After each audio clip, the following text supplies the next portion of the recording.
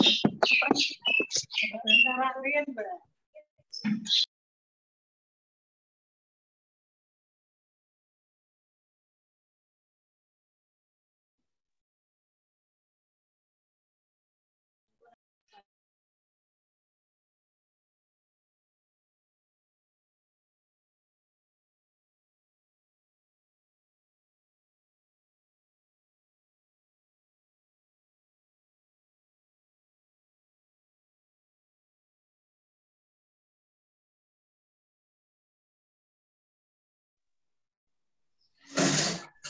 So you.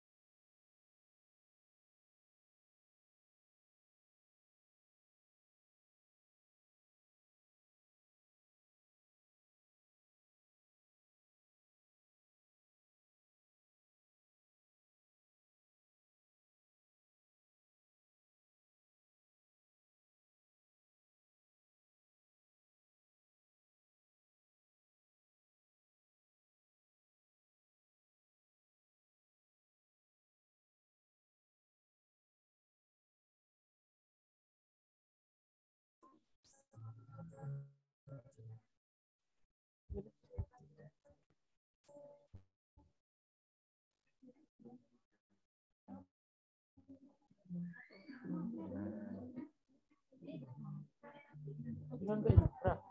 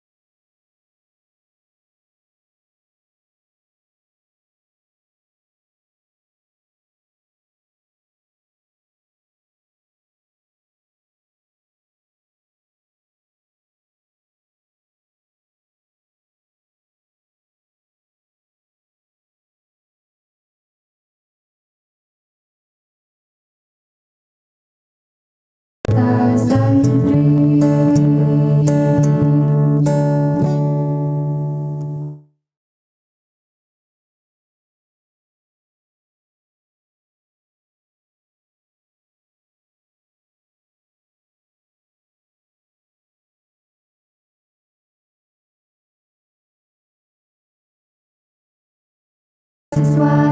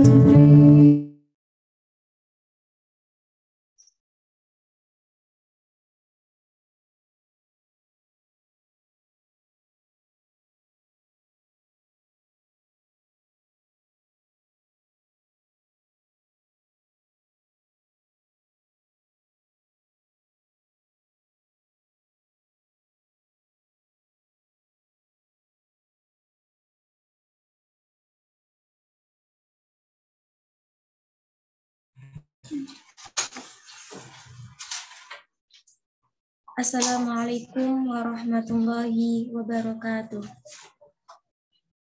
Alhamdulillahi rabbil alamin wa bihi nasta'in ala umuri dunya waddin wassalatu wassalamu ala asyrafil anbiya'i wal mursalin wa ala alihi wa sahbihi ajma'in. Yang terhormat Bapak Dr. Salio, Sarjana Agama Magister Sains, selaku Wakil Dekan 3 Fakultas Tarbiyah IAIN Kudus. Yang terhormat Bapak Argop Khofia Hakiki, Magister Pendidikan, selaku Ketua Program Studi Tadris Matematika Fakultas Tarbiyah IAIN Kudus. Yang terhormat Ibu Wahyuning Widya Stuti, Magister Sains, selaku Sekretaris Program Studi Tadris Matematika IAIN Kudus. Yang kami hormati segenap Bapak Ibu dosen Tadris Matematika IAIN Kudus. Yang kami hormati Ketua HMPS Tadris Matematika IAIN Kudus, Saudara Muhammad Bakhrul Alam.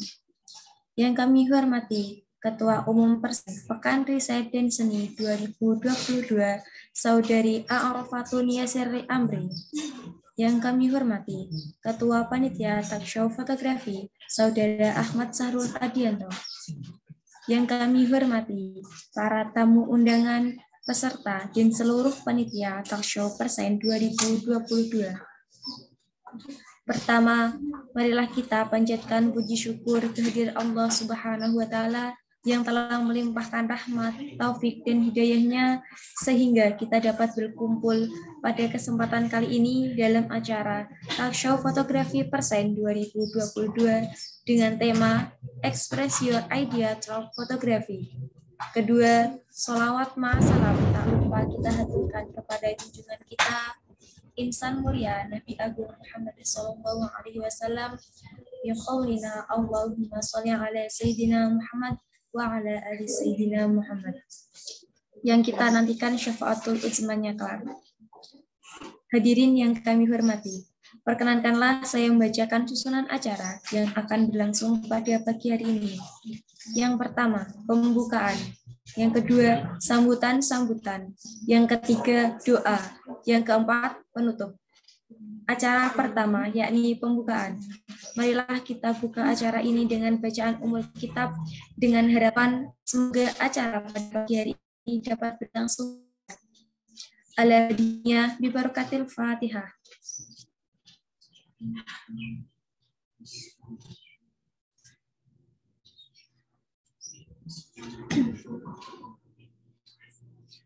Terima kasih.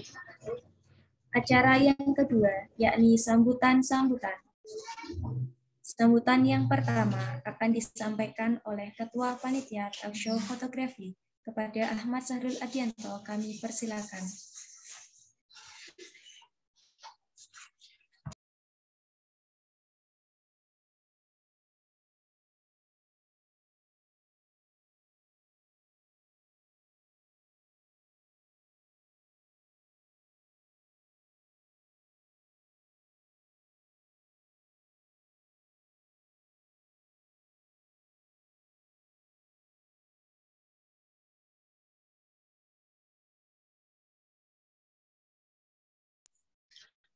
Assalamualaikum warahmatullahi wabarakatuh.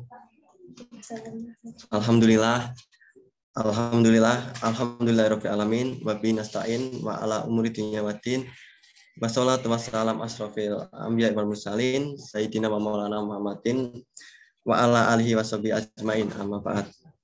Yang terhormat Bapak Agung Kofiah Hakiki MPD selaku Ketua Program Studi Tadris Matematika IAIN Kudus yang saya hormati Ketua HMPS Tadris Matematika IAIN Kudus Saudara Muhammad Bahrul Alam yang saya hormati Saudara Husain Rabani selaku narasumber pada acara takso fotografi dan tak lupa pula kepada seluruh panitia dan peserta yang saya banggakan.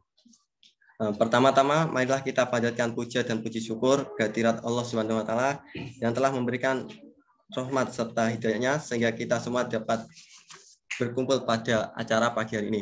Tak lupa pula selawat serta salam kita haturkan kepada junjungan kita Nabi Agung Muhammad SAW. Semoga kita mendapat syafaatnya di yaumul kiamah nanti. Amin amin ya rabbal alamin. Alhamdulillah pada pagi hari ini saya diberi kesempatan untuk menyampaikan sepatah dua patah kata. Nah, sebelumnya saya ucapkan selamat datang pada acara takso fotografi pagi hari ini yang mengangkat tema Express Your Idea Talk Photography. Nah, tujuan dari acara ini adalah untuk memberikan pengetahuan serta wawasan mengenai pentingnya dokumentasi dalam setiap momen di era 4.0 ini. Dan yang terakhir, marilah kita ikuti acara ini dengan baik agar dapat berlangsung dengan lancar. Dan semoga kita semua dapat memetik manfaat dari acara ini. Akhir kata, apabila ada kekurangan atau salah kata dari saya, kurang lebihnya saya mohon maaf. Terima kasih. Wassalamualaikum warahmatullahi wabarakatuh.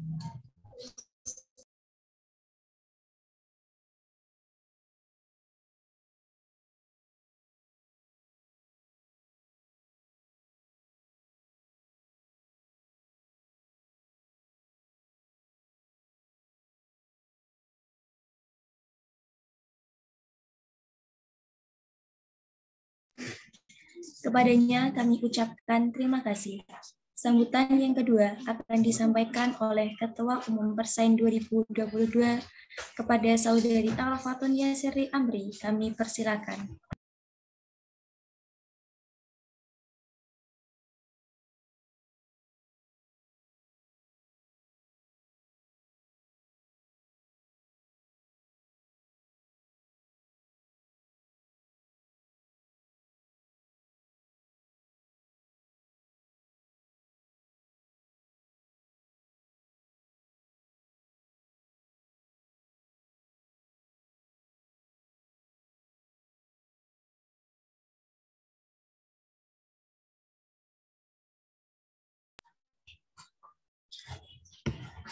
Assalamualaikum warahmatullahi wabarakatuh.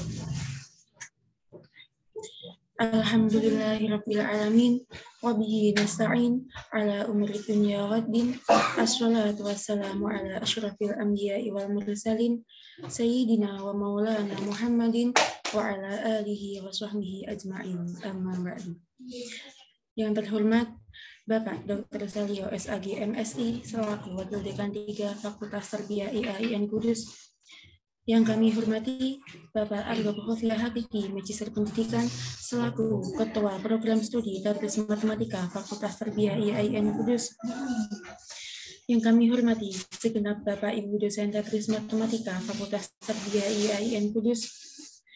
Yang kami hormati Husain Rabbani selaku narasumber dalam acara talk show fotografi dan yang kami hormati Ketua HMPS Tadris Matematika IAIN Kudus, Saudara Muhammad Baru Alam, dan tak lupa seluruh panitia, peserta, dan tamu undangan. Pertama-tama, marilah kita panjatkan puji syukur kehadirat Allah Subhanahu wa taala yang telah melimpahkan rahmat, taufik, dan hidayahnya sehingga kita dapat berkumpul melalui Zoom pada pagi hari ini.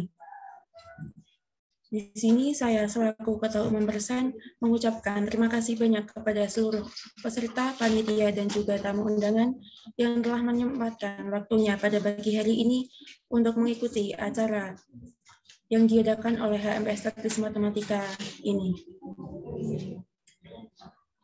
Uh, Talkshow fotografi ini merupakan salah satu rangkaian acara dari Persen atau pekan riset seni yang pada tahun ini mengangkat empat acara. Yang pertama yaitu ada penulisan karya tulis ilmiah yang sudah terlaksana pada tanggal 26 sampai 27 Juli kemarin.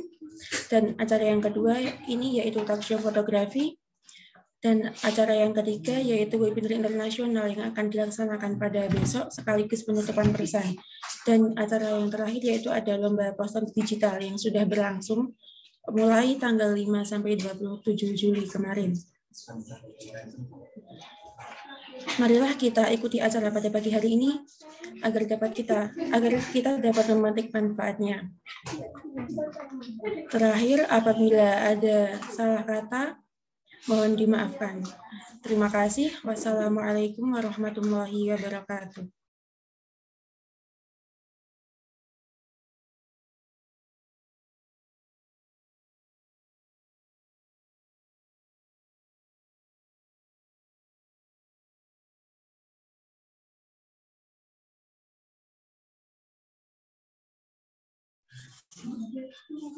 Kepadanya kami ucapkan terima kasih Sambutan yang ketiga akan disampaikan oleh Ketua HMPS Tadris Matematika IA Yan Kudus yang betul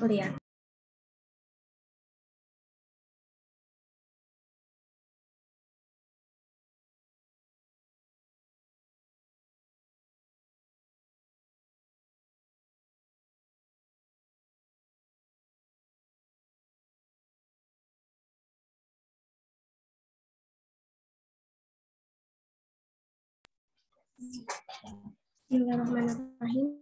Assalamualaikum warahmatullahi wabarakatuh. Alhamdulillah alamin wa bihi nasta'in wa ala umuri dunya waddin wassalatu wassalamu ala asyrafil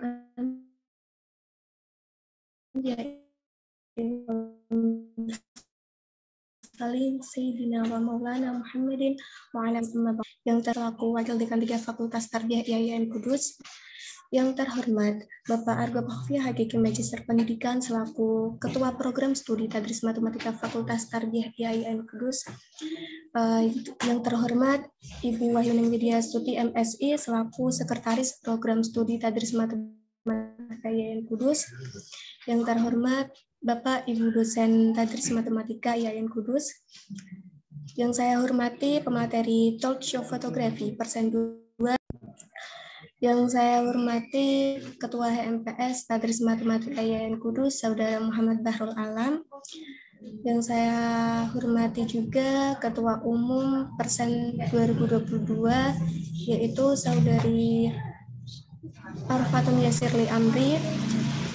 Yang saya hormati juga Ketua Panitia Talk Show Fotografi Persen 2022, Saudara Zahrul Ardianto dan tak lupa segenap peserta, panitia, dan tamu undangan.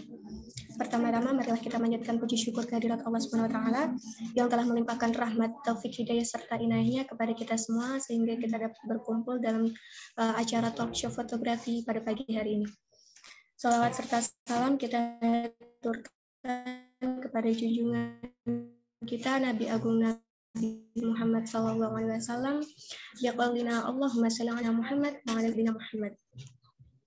Baik, uh, di sini saya mewakili Ketua HMPS Tadris Matematika Yan Kudus yang belum bisa hadir dan bergabung mengikuti acara talk show ini memberikan sambutan. Uh, saya akan uh, izinkan saya mengucapkan banyak-banyak terima kasih kepada seluruh panitia, peserta serta tamu undangan yang telah berkenan hadir dalam talk show fotografi ini. Uh, kami harap dengan adanya talk show fotografi ini dapat memberikan manfaat bagi kita semua, khususnya bagi peserta dan seluruh masyarakat serta yang gemar akan dunia fotografi. Uh, sudah dijelaskan oleh ketua umum tadi bahwa uh, acara persen ini beberapa rangkaian uh, ada beberapa rangkaian. Yang pertama yaitu tadi pembuka pembukaan. Dan acara pelatihan KTI uh, hari Selasa juga ada lomba poster digital, ada juga uh, webinar internasional.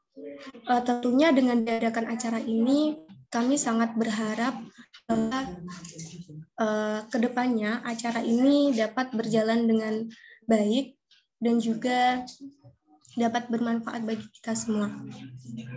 Kedua, uh, saya mohon maaf apabila dalam melaksanakan acara ini banyak sekali kekurangan dan juga uh, ketidaknyamanannya. Mungkin cukup itu yang bisa saya sampaikan. Kurang lebihnya mohon maaf. Wabillahi taufiq wal hidayah. Wassalamualaikum warahmatullahi wabarakatuh.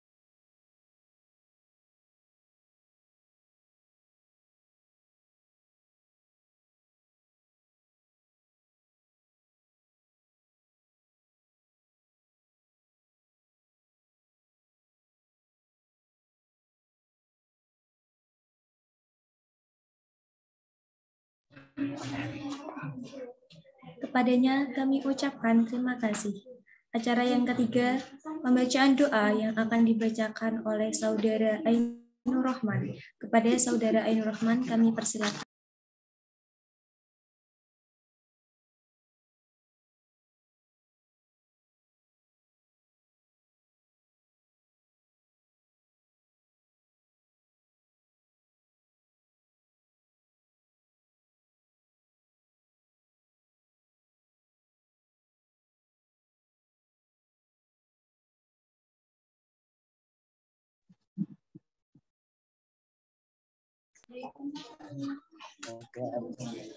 Assalamualaikum warahmatullahi wabarakatuh.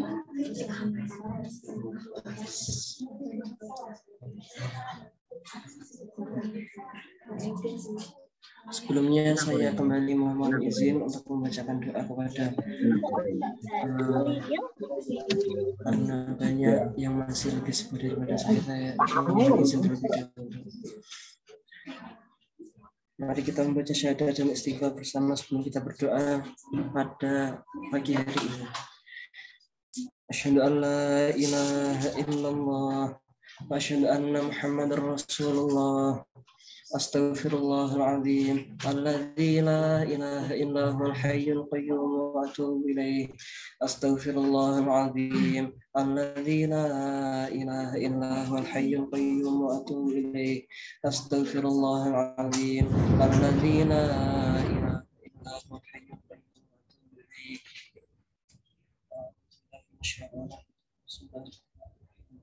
الحمد لله رب العالمين. حول الناعمين حول الشاكرين حمد يوافي نعمه ويكف مزيده يا ربنا لك الحمد كما ينبغي لجلال وجهك الكريم عظيم سلطانك. اللهم صل على سيدنا محمد صلاة تنجينا بها من جميع الأهوال والآفات. وتقضي لنا بها جميع الحاجات. وتطهرنا بها من جميع السيئات. وترفعنا بها عندك أعلى درجات. وتبلغنا بها أقصى الغايات من جميع الخيرات في الحياة. وبعد الممات إنك على كل شيء قدير. اللهم سلامة في الدين وعافية في جسدنا وزيادة في عيننا وبركة في رزقنا وتوبة قبل موتنا ورحمة عند موتنا ومغفرة بعد موتنا ربنا لا تزغ قلوبنا بعد إذ هديتنا وهب لنا من لدنك رحمة إنك أنت الوهاب اللهم اغفر لنا ولوالدينا وارحمهم كما ربونا صغارا اللهم اغفر لنا ولوالدينا وارحمهم كما ربونا صغارا اللهم اغفر لنا ولوالدينا وارحمهم كما ربونا صغارا برحمتك يا أرحم الراحمين. اللهم انفعنا بما علمتنا وعلمنا ما ينفعنا وزدنا علما. والحمد لله ونعوذ بك من حال كل أهل النار. ربنا اشرح لنا صدورنا ويسر لنا أمورنا. واحلل عقدة من ألسنتنا يفقه قولنا. ربنا زدنا علما. وارزقنا فهما برحمتك يا أرحم الراحمين. ربنا ارزقنا الصحة والعافية والقوة والسلامة والبركة وحياة طيبة واستقامة. ورزقا واسعا حلالا طيبا كثيرا مباركا برحمتك يا أرحم الراحمين. وارضى عنا وارحمنا برحمتك يا أرحم الراحمين. اللهم اغفر لنا ولوالدينا وارحمهم كما ربونا صغارا ولجميع المسلمين والمسلمات والمؤمنين والمؤمنات الأحياء منهم والأموات. ربنا هب لنا من أزواجنا وذرياتنا قرة أعين واجعلنا للمتقين إماما. برحمتك يا أرحم الراحمين. يا الله بها يا الله بها يا الله بحسن الخاتمة. يا الله بها يا الله بها يا الله بحسن الخاتمة. يا الله بها يا الله بها يا الله بحسن الخاتمة. اللهم أعنا على ذكرك وشكرك وحسن عبادتك. إلهنا أنت مولانا أنت رسولنا ورضاك مطلوبنا أعطينا محبتك ومعرفتك برحمتك يا أرحم الراحمين. ربنا ارزقنا فهم النبيين. وحفظ المرسلين وإلهام الملائكة. المقربين. برحمتك ومغفرتك يا أرحم الراحمين. ربنا آتنا في الدنيا حسنة وفي الآخرة حسنة وقنا عذاب النار. وصلى الله على سيدنا محمد وعلى آله وصحبه وسلم. والحمد لله رب العالمين. سر الفاتحة.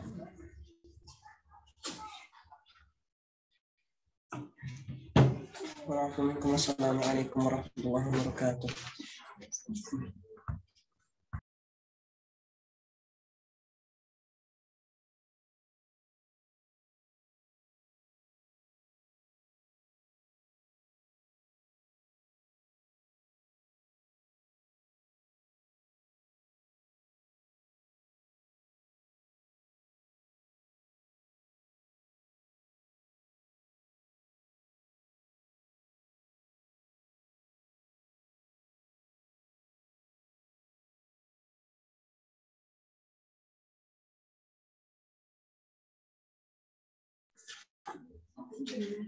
Kepadanya kami ucapkan terima kasih. Demikianlah rangkaian acara pembukaan talk show pada pagi hari ini. Saya selaku pembawa acara mohon maaf apabila ada tutur kata yang kurang berkenan. Atas perhatian kami ucapkan terima kasih. Terima kasih. Akhirul kalam, Allahul muwafiq ila aqwamit thariq. Wassalamualaikum warahmatullahi wabarakatuh.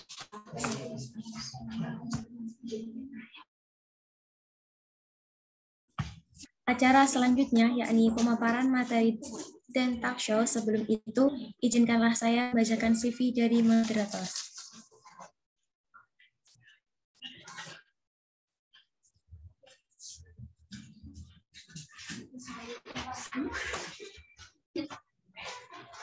Nama Muhammad Fail Abdul Aziz, tempat tanggal lahir Jepara 10 April 2002, alamat Bansri RT 4 Jepara, riwayat pendidikan 2008 sampai 2014 SD Negeri 6 Bangsri 2014 sampai 2017 SMP Negeri 1 Bangsri 2017 sampai 2020 SD 1 Bangsri 2020 sampai sekarang IAIN Kudus Fakultas Tarbiyah Prodi Tadris Matematika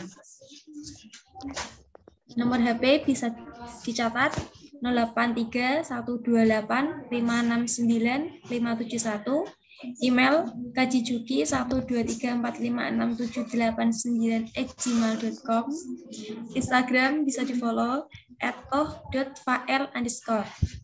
Pengalaman organisasi Departemen Eksternal HMPS Tadris Matematika IAIN Kudus Departemen Orsen HMPS Tadris Matematika IAIN Kudus Ikatan Remaja Arbaah, Majelis Permusyawaratan Kelas, Kajian Pendidikan Islam SMA Negeri 1 Bansri, Jamiah Tilawatil Quran Nurul Huda RW 1 Bansri.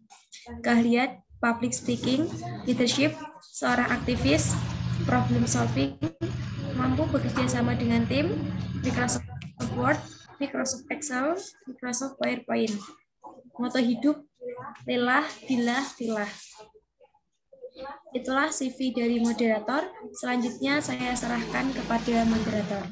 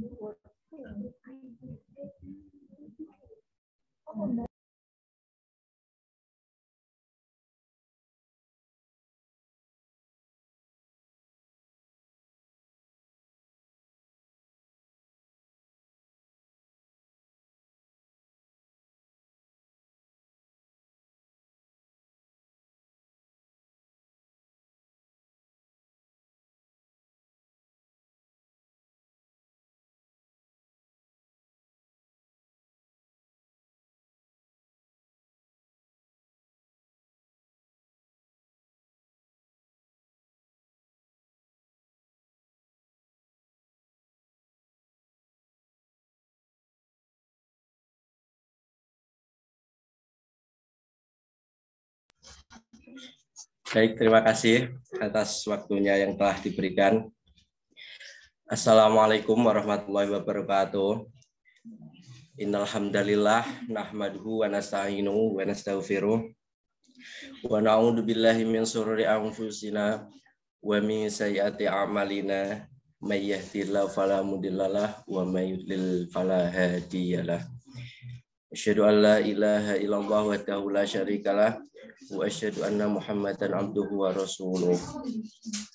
Yang terhormat kepada narasumber Takso Fotografi Persen 2022 Saudara Husain Rabani yang terhormat Ketua HMS Adres Matematika Saudara Muhammad Bahrul Alam yang terhormat Ketua Umum Persen 2022 Saudari Arofatun Yasirli Amri yang terhormat Ketua Panitia Talkshow Fotografi kepada Saudara Ahmad Sarul Adianto.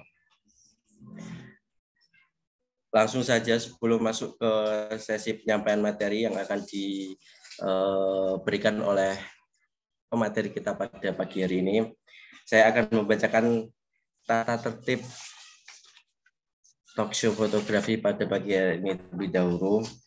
Baik, Tata tertib talk show fotografi dengan tema Express Your Idea to Photography. Yang pertama, peserta diharapkan telah melakukan registrasi melalui link pendaftaran yang disediakan oleh panitia. Yang kedua, untuk kemudahan peserta dalam talk show fotografi dihimbau agar peserta menggunakan perangkat yang terkoneksi internet dengan baik. Tidak diperkenankan mengeluarkan kata-kata kasar, menyinggung, dan terdapat unsur SARA. Peserta tidak diperkenankan mengirimkan pesan suara di grup WhatsApp. Peserta dihimbau memasuki room Zoom 15 menit sebelum acara dimulai matikan suara atau mute saat talk show berlangsung agar kegiatan berlangsung kondusif.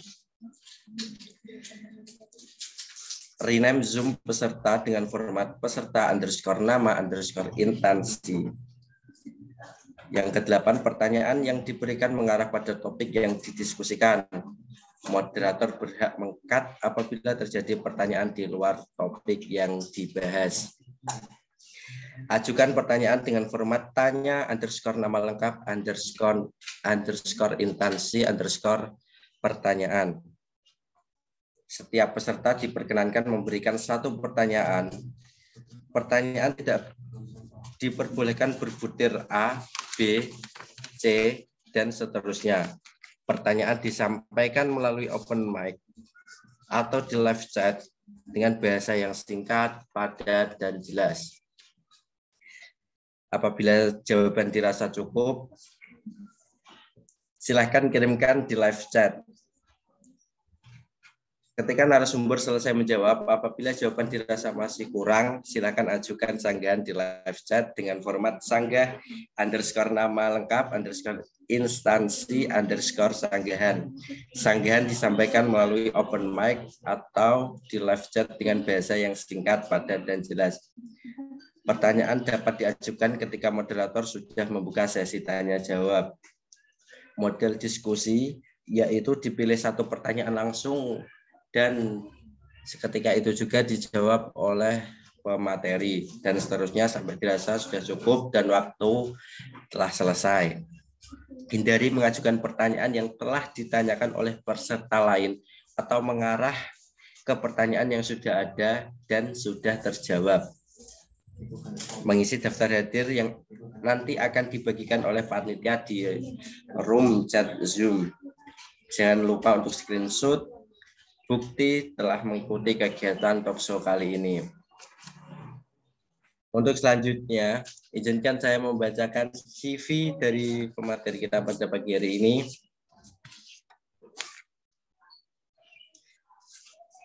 Baik, CV pemateri Husen Rabani seorang konten kreator dengan pengalaman membuat konten kreatif selama dua tahun ini menjadikannya lebih peka terhadap perkembangan tren dan strategi sosial media. Beliau juga sebagai seorang fotografer dan videografer produk yang telah membantu puluhan online shop dan UMKM selama lebih dari satu tahun. Untuk nomor HP ataupun WhatsApp-nya bisa dicatat 087 730 307 509. Untuk alamat emailnya husenrabani 86@gmail.com.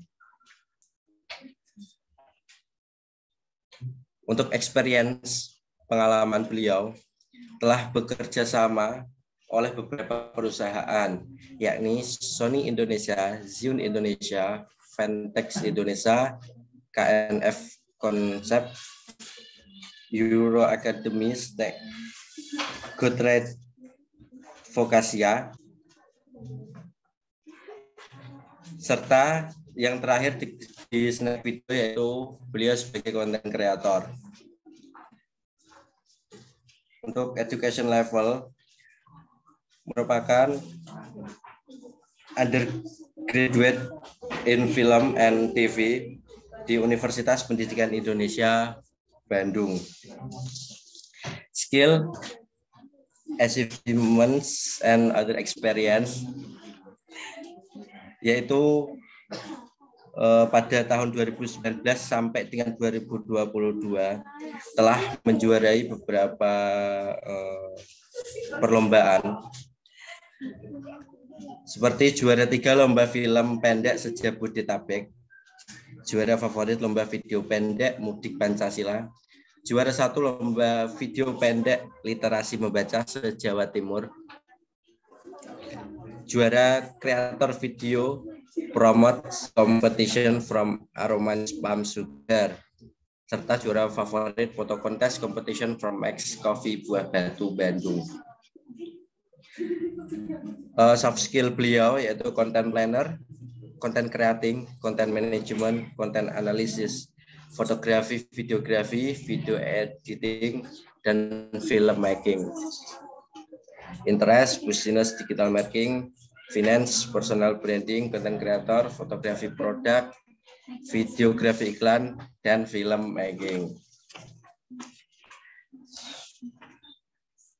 Terima kasih itu tadi tata tertib dan eh, CV oleh pemateri kita pada pagi hari ini. Uh, kita sapa dulu ya teman-teman di Zoom kali ini. Halo everyone, bagaimana kabarnya pada hari ini?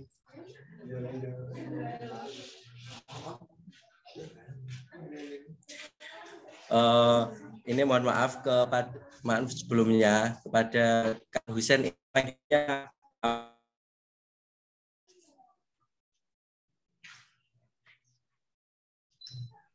Halo, halo.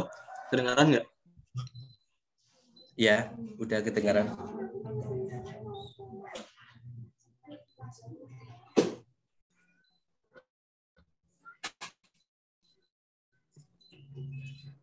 Gimana mau langsung aja apa gimana ini? Uh, monggo kalau emang langsung mau memberikan uh, materinya. Oke, aku coba share screen dulu ya. Oke, siap.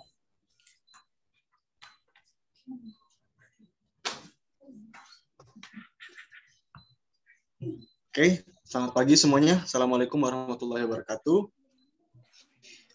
Uh, pada webinar kali ini kita bakal ngebahas tentang fotografi pakai HP dengan tema Express Your Ideas Through Photography di IAIN Kudus.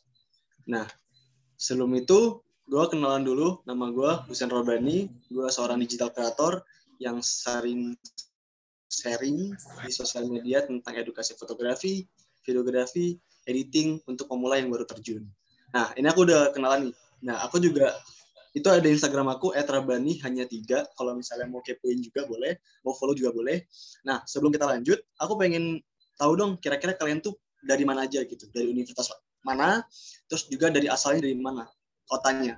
Bisa di kolom chat coba coba tulis ya. Kira-kira kalian dari mana nih? Belum ada yang nulis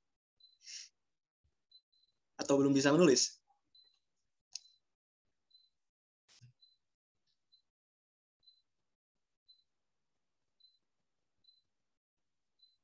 Nggak ada yang mau kenalan nih? Ayo untuk teman-teman, masa gak ada yang kepo sama Kak Husen ini?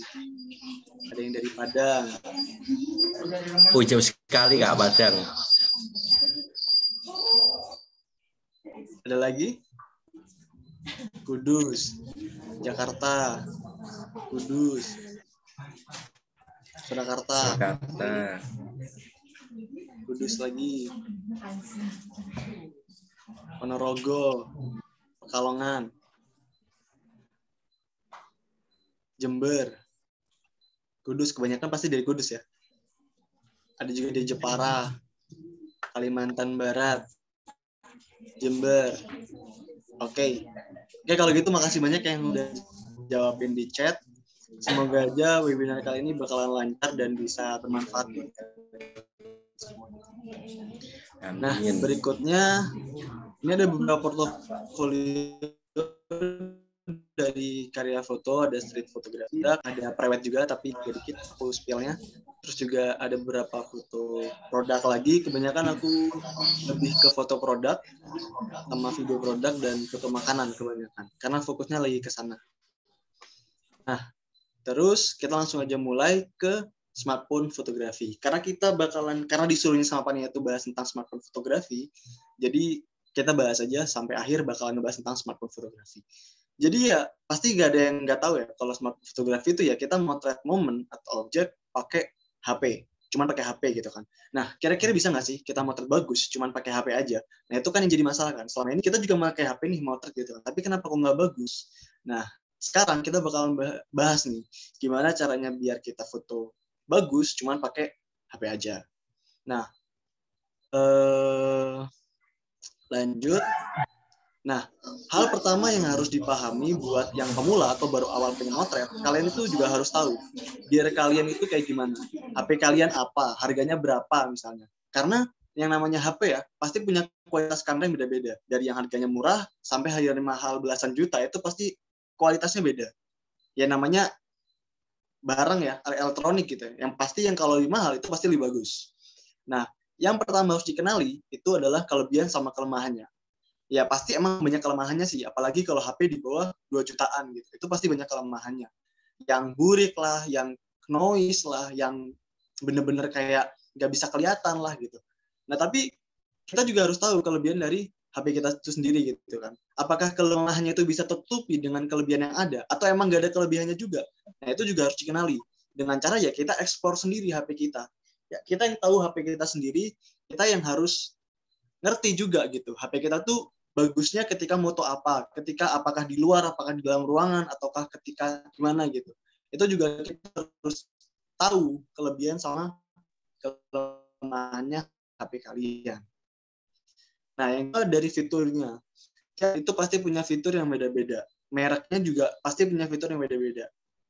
Nah, kalian juga harus tahu kira-kira fitur apa aja yang kalian bisa manfaatin nantinya ketika kalian mau pakai HP apakah fitur itu bakal ngebantu kalian atau nggak ngebantu sama sekali atau ini bakalan jadi uh, nyusahin gitu kan? Nah itu juga harus tahu kalian.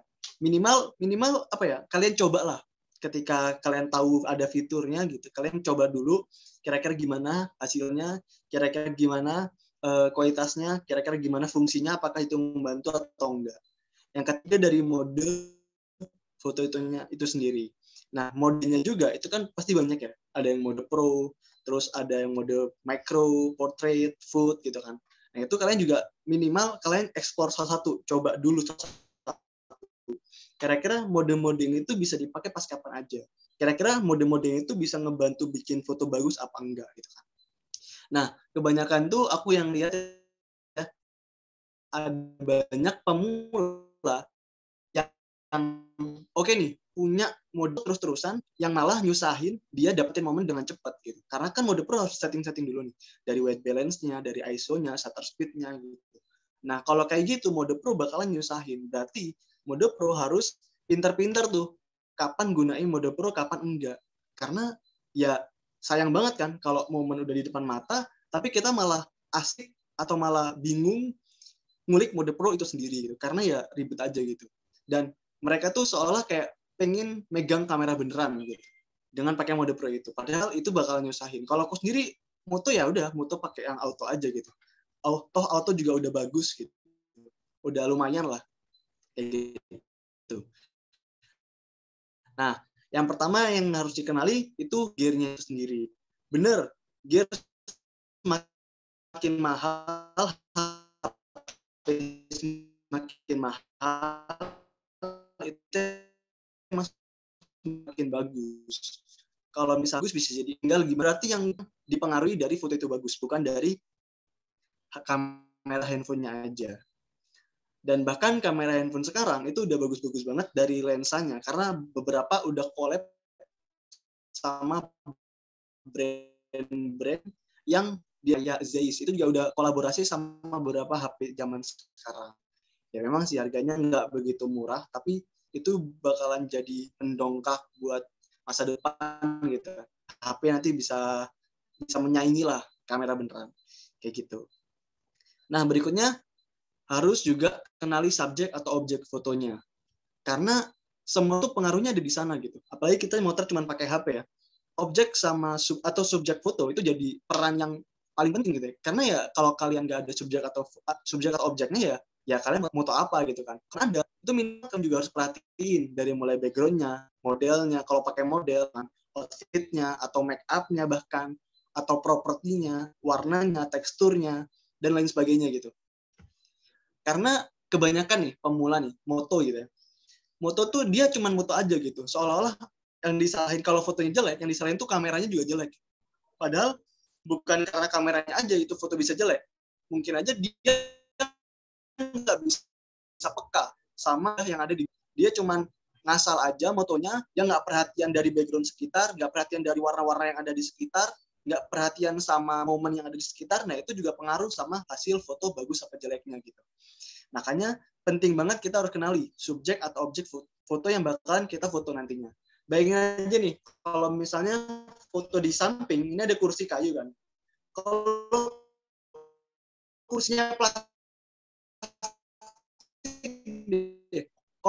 kondangan, apakah bisa bagus? Bukan. Misalnya ini gitu, warna hijau gitu. Apa bagus saya ini gitu? Enggak gitu. Makanya foto ini itu disusun sedemikian rupa, pakai kursi yang kayu, estetik gitu kan. Terus ada buku-buku, ada vas bunga, terus ada bunganya juga yang lagi bagus gitu terus backgroundnya juga bisa selaras warnanya sama warna-warna kursi gitu kan nah itu tuh diatur sedemikian rupa gitu nah bang kalau misalnya nggak bisa diatur gimana ya kita yang harus peka sama sekitar apakah foto itu emang bisa bagus tanpa kita atur dengan kita perhatian warna-warna sekitar di sekitar kita tuh cocok gak kita foto? Kira-kira dari pencahayaannya bagus nggak? Kira-kira dari emang tekstur atau warna-warna yang ada itu match nggak gitu? Nah itu tuh harus diperhatiin juga. Bahkan kalau model deh model cantik sama jelek itu pengaruh loh. Padahal fotonya sama. Ya berarti emang mungkin aja emang dari apa ya kalian milih modelnya harus bener gitu. Nggak bisa asal, asal milih model gitu ya. Itu tuh pengaruh loh model satunya outfitnya bagus satu outfitnya jelek itu juga pengaruh nah jadi bukan karena kameranya jelek bukan tapi karena subjeknya aja gitu yang kalian nggak bisa peka sama keindahan yang ada gitu Nah, gimana caranya kita bisa foto dengan objek atau subjek yang bagus? Kita harus juga punya bank visual yang ada di otak kita. Ya, dengan cara kita sering-sering lihat foto yang bagus, lihat sering-sering lihat referensi foto. Di Instagram banyak, di Pinterest juga banyak, di TikTok juga banyak gitu. Kalau kalian sering nyari. Nah, dengan adanya referensi bank visual yang ada, kita bakalan peka sama keindahan foto-foto yang yang ada gitu di sekitar kita. Kayak gitu. Nah, berikutnya ini aku tekenin dulu ya kalau misalnya subjek foto atau objek foto itu jadi peran penting kalau kita motret pakai HP. Jangan kan pakai HP, pakai kamera juga itu penting banget gitu. Karena percuma kalau gear kita mahal atau gear kita bisa foto bagus tapi subjek atau objek fotonya itu sendiri tuh nggak nggak nggak bagus buat foto gitu. Gitu. Nah, berikutnya baru kita pahami dasar fotografi yang ada. Nah, ini ada komposisi, angle, exposure, sama lighting. Sebenarnya banyak sih. Cuman ini dasarnya aja, apalagi buat foto pakai HP ya, kita nggak bisa explore lebih jauh dari dasarnya ini sendiri. Karena ya emang HP itu sendiri terbatas. Dan kebiasanya kalau kita motret pakai HP ya paling buat event tertentu, buat motret sama temen, buat motret yang cepet-cepet, bukan buat kerja kan gitu kan. Jadi ya minimal kalian tahu dasar fotografi yang ada di sini. Selebihnya kalau mau lebih profesional, punya kamera, baru kalian bakalan belajar lebih jauh. Nah, kita bakal bahas, bahas satu-satu di sini. Yang pertama ada komposisi. Nah, komposisi fotografi itu apa? Komposisi fotografi menurut pemahaman gue selama belajar fotografi, itu kayak gimana sih caranya kita memposisikan frame kamera kita pada objek foto yang mau kita foto. Nah, penting juga buat kita nentuin objek utama pada foto. Misal kayak kita motret gunung nih. Apa sih yang kita fokusin dari foto gunung itu sendiri? Apakah sungainya, apakah gunungnya, apakah langitnya, Nah, itu kita harus punya tuh, minimal kita tahu objek foto dari utamanya itu di mana gitu. Di gunung, ya udah berarti kalian lebih fokus uh, foto gunungnya gitu. Selebihnya itu jadi elemen pendukung aja. Kayak gitu. Nah, yang namanya objek utama itu biasa disebut dengan point of interest. Nah, komposisi itu kita tuh dari yang ada nih di sekitar kita gitu kan. Nah, kita tuh mengkomposisikan kayak nyari gitu kira-kira frame mana sih kira-kira bagian mana gitu dari frame kamera kita itu yang bagus nah itu dari kepekaan kita yang penting tapi beda-beda sih setiap genre fotografi itu punya komposisi fotografi yang beda gitu kayak di produk fotografi kita tuh nggak mengkomposisikan foto ya. Tapi kita menata. Menata produk biar meng, biar jadi komposisi yang bagus. Bukan kita yang nyari gitu. Kalau di street atau di landscape kita yang nyari. Karena ya kita nggak bisa gerakin gunung kita nggak bisa gerakin gedung kita nggak bisa gerakin orang gitu kan. Ya paling kita cuma suruh geser-geser doang gitu kalau orang. Nah tapi kalau secara secara klinik gitu kita nggak bisa geserin orang atau suruh orang jangan di sini gitu. Nggak bisa gitu. Makanya kita yang harus peka sama sekitar kita. Dengan menggunakan komposisi fotografi biar foto kita jadi lebih estetik. Estetikanya itu ada gitu.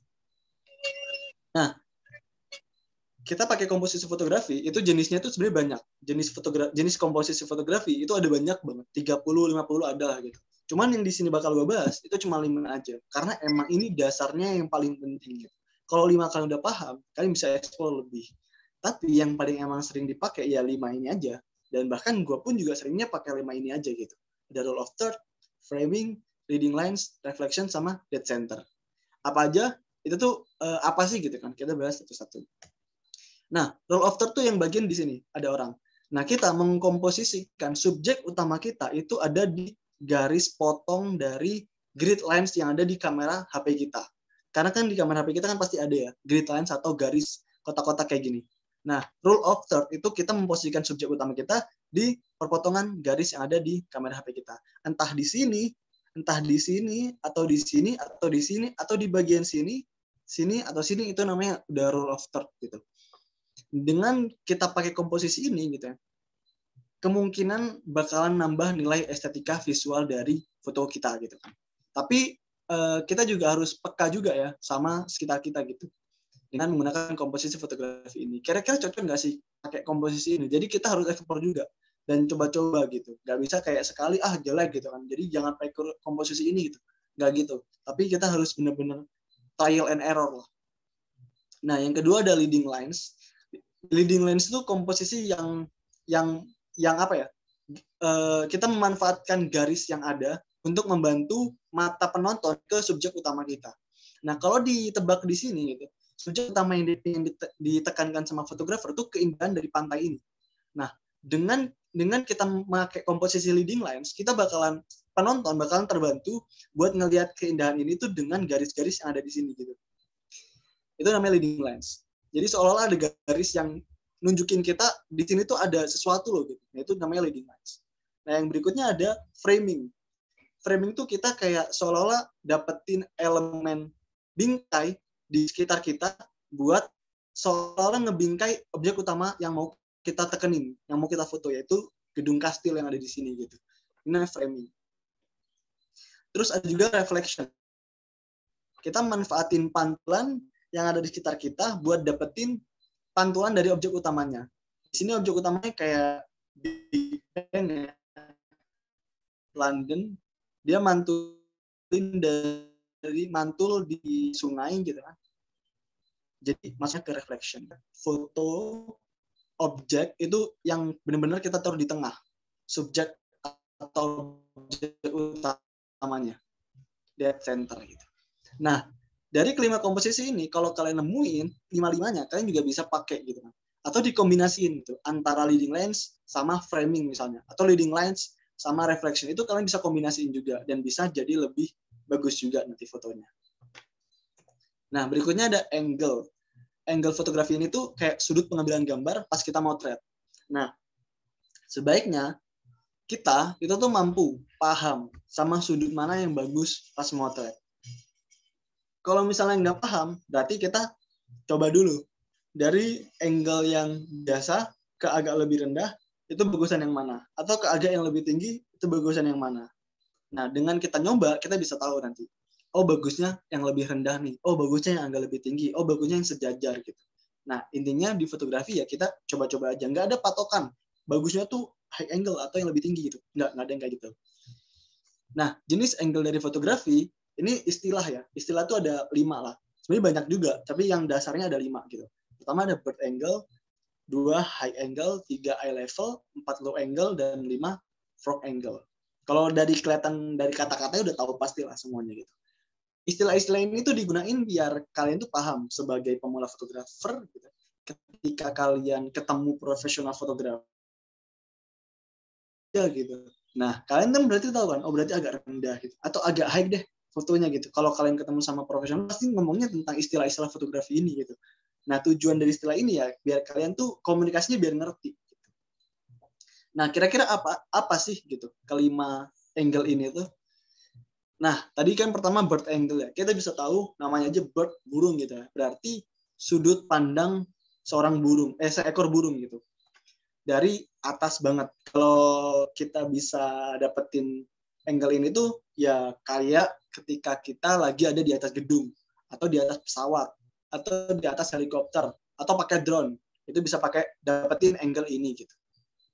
Yang kedua tadi ada high angle yang di Harry Potter ini.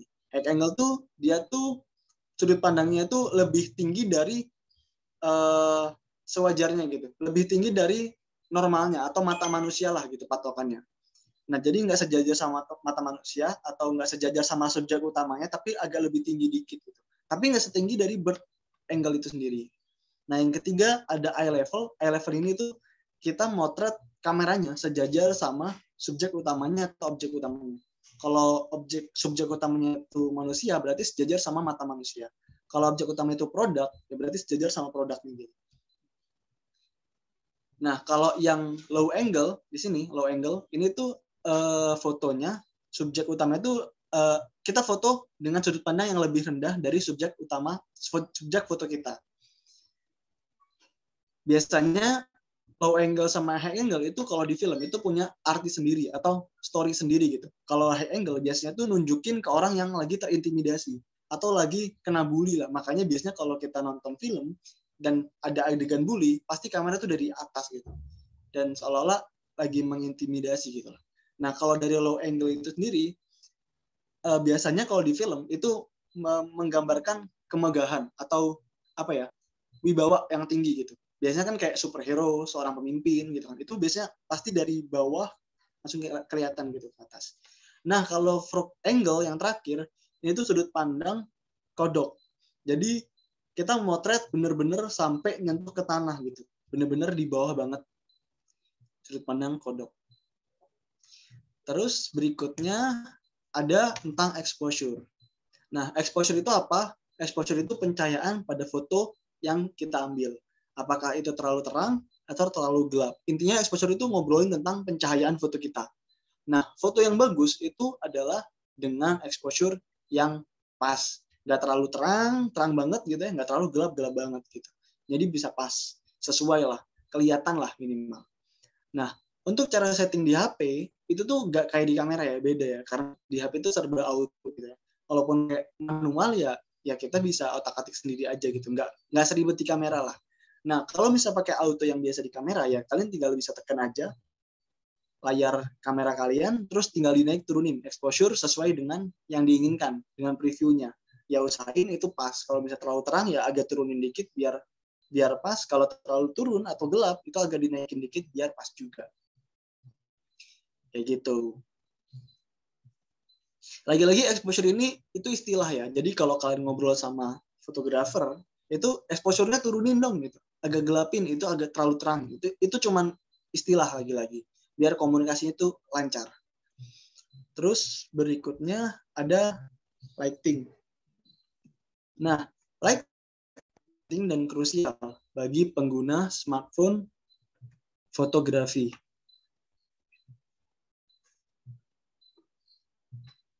Lighting itu jadi peran yang penting dan krusial bagi pengguna smartphone fotografi. Tanpa lighting atau pencahayaan yang proper, gambar tuh bakalan kelihatan kurang tajam, rawan noise, dan sering kali burik. Makanya kita harus selalu perhatiin lighting sekitar baik natural ataupun artificial. Jadi jenis lighting itu ada dua, natural sama artificial. Natural ini itu tuh lighting natural yang ada di alam kita, yaitu matahari kalaupun bulan bisa jadiin lighting ya ya ya kalau kelihatan sih gelap gitu kan tapi ya matahari lah kita yang kita jadiin utama gitu. Nah kalau artificial itu cahaya atau lighting buatan. Kayak lampu kamar kita softbox ring light terus flash HP misalnya. Nah itu itu artificial gitu buatan gitu. Nah buat buat pengguna HP aku nggak saranin kalian buat otak atik pakai artificial atau lighting buatan gitu. Kayak softbox atau ring light gitu. Aku nggak nggak begitu saranin karena kebanyakan tuh jadi salah salah salah penggunaan gitu. Dan jadinya gambarnya bakalan lebih burik lebih noise gitu kan. Jadi nggak nggak bagus lah. Mending kalau kalian foto pakai HP itu manfaatin pakai cahaya matahari yang ada.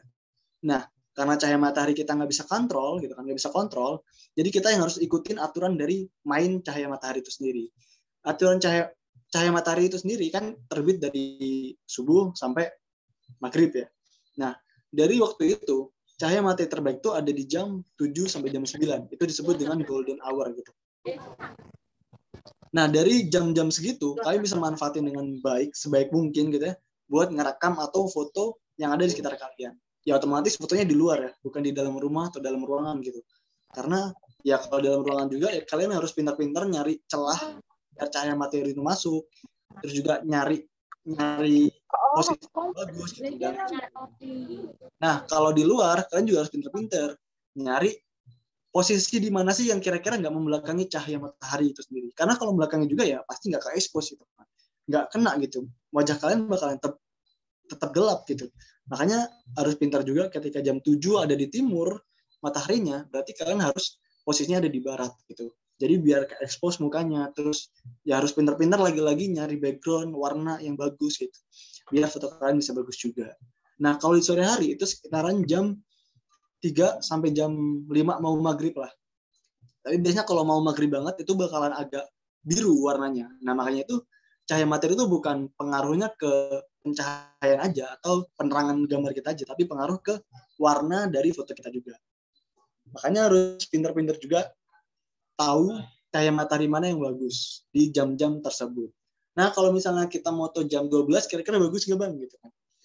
Lagi-lagi tergantung konsep ya. Konsep foto kalian tuh mau kayak gimana. Tapi kalau aku sendiri itu jarang pakai, jarang foto di jam 12 siang gitu. Karena mati itu ada di atas banget, di atas banget. Jadi kalau misalnya kita foto foto di jam 12, itu tuh bayangan bakalan di bawah sini tuh. Dan itu bakalan jelek banget. Hidung tuh bakalan ada bayangannya gini juga. Itu bakal jelek banget buat foto manusia.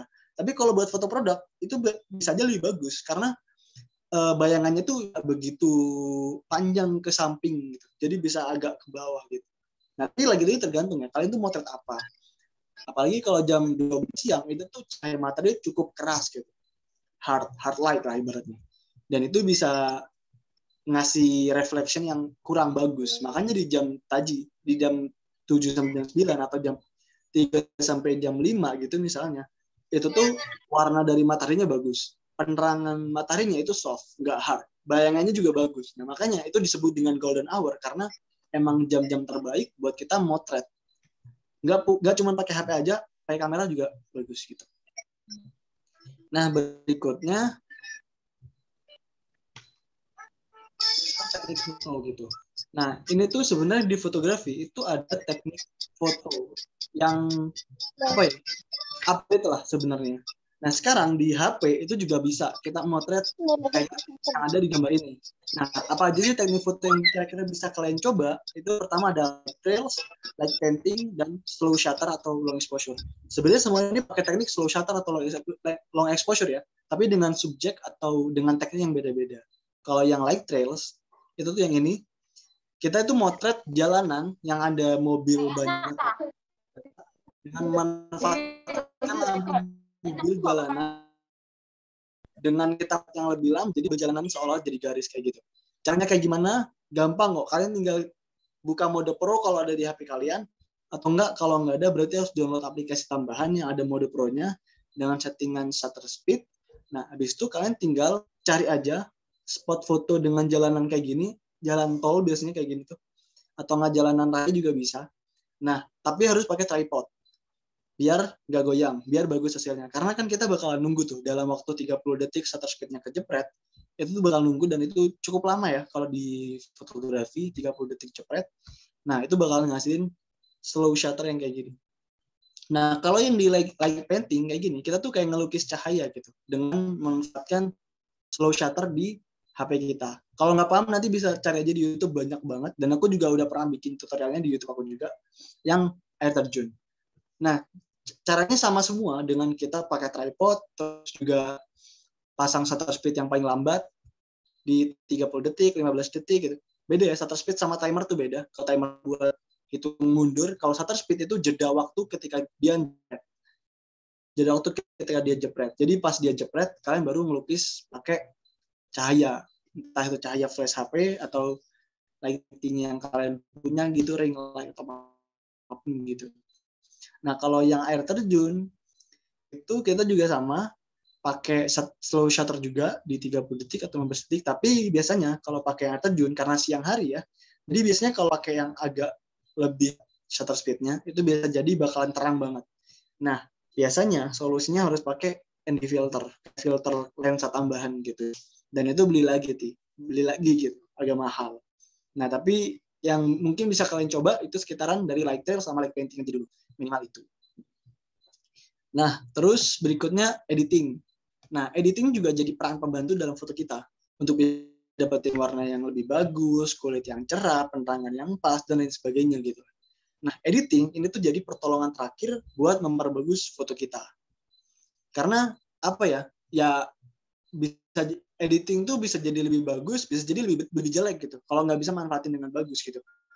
Kadang udah bagus fotonya, diedit warnanya lagi lebih kontras, jadi lebih saturasinya lebih tinggi, jadi lebih norak itu tuh bahaya gitu kan. Jadi ya harus lebih bijak lagi pas ngedit pengaturan warnanya, pengaturan exposure-nya, penerangannya gitu kan.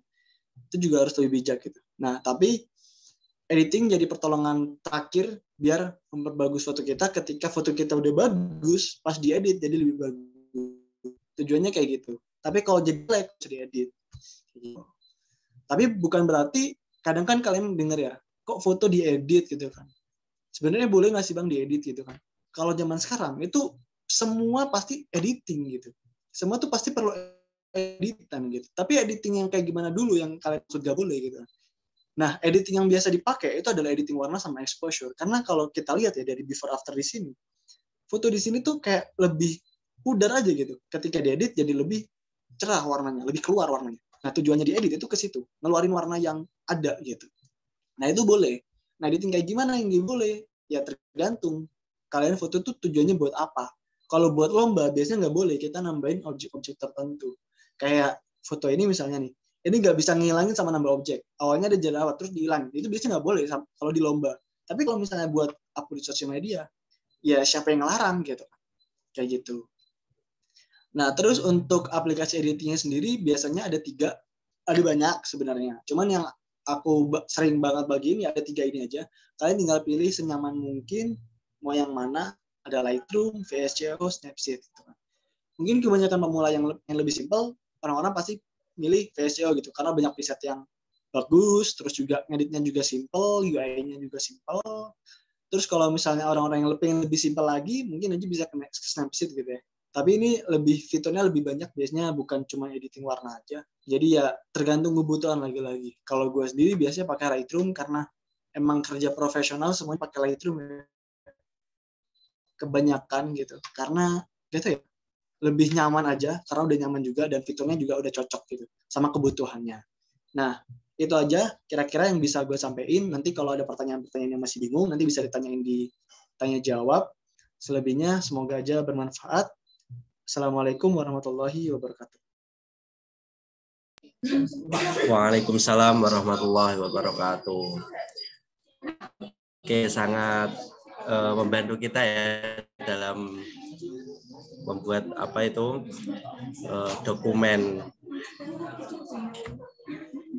dalam fotografi kita. Uh, sebelumnya kita bincang-bincang dulu ya kak. Uh, agar teman-teman yang ada di Zoom meeting lebih kenal lagi sama kakak.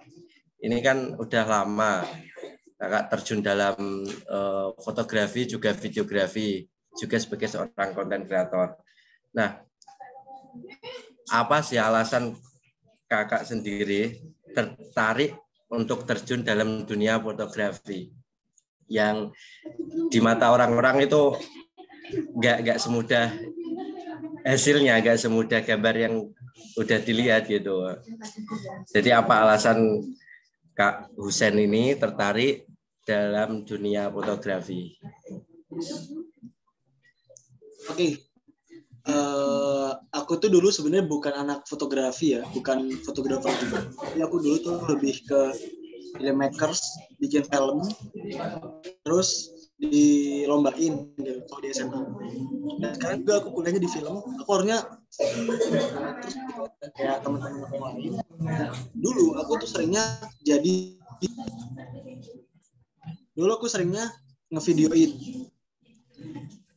dulu aku sering bikin video bikin skrip video edit gitu kan. Nah dulu aku lebih ke sana. Terus lama lama aku jadi penasaran. Gimana sih orang-orang bisa bikin gitu? Gimana sih caranya orang-orang potret? Apanya apa aja sih gitu?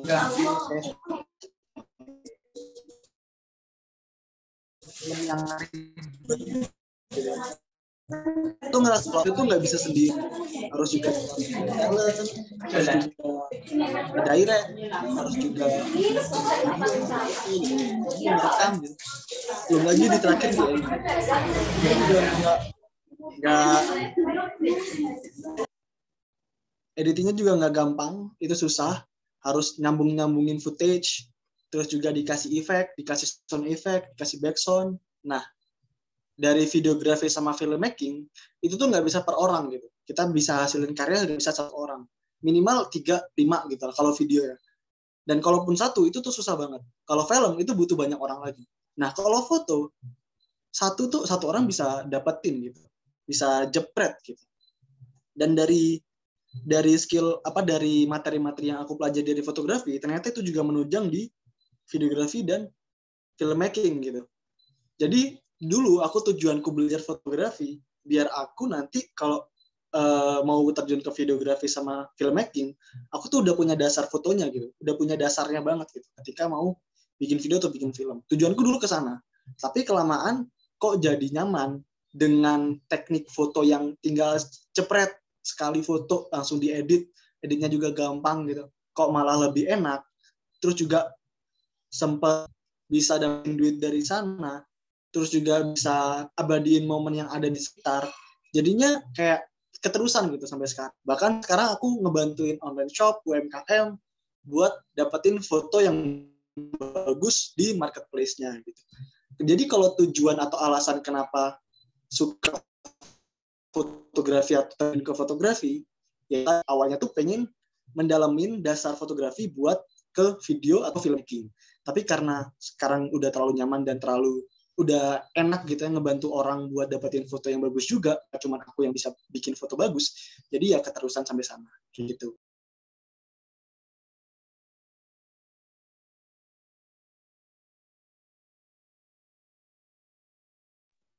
itu masih di mute Oke, maaf, maaf, maaf.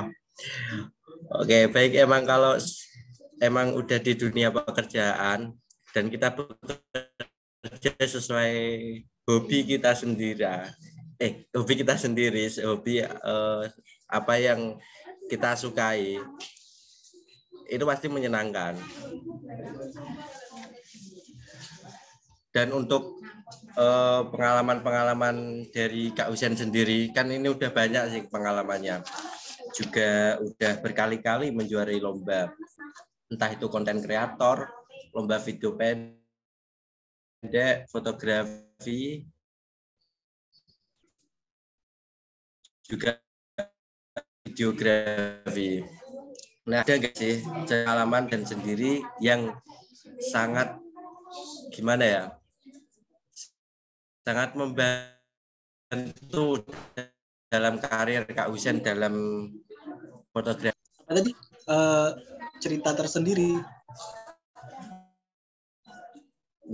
Ya, ini dari experience Kak Husen sendiri kan udah banyak ini oh menjuarai berbagai lomba. iya iya iya Nah, ada nggak sih pengalaman di mana yang sangat menggugah di karir untuk karir Kak Husen sendiri dalam dunia fotografi?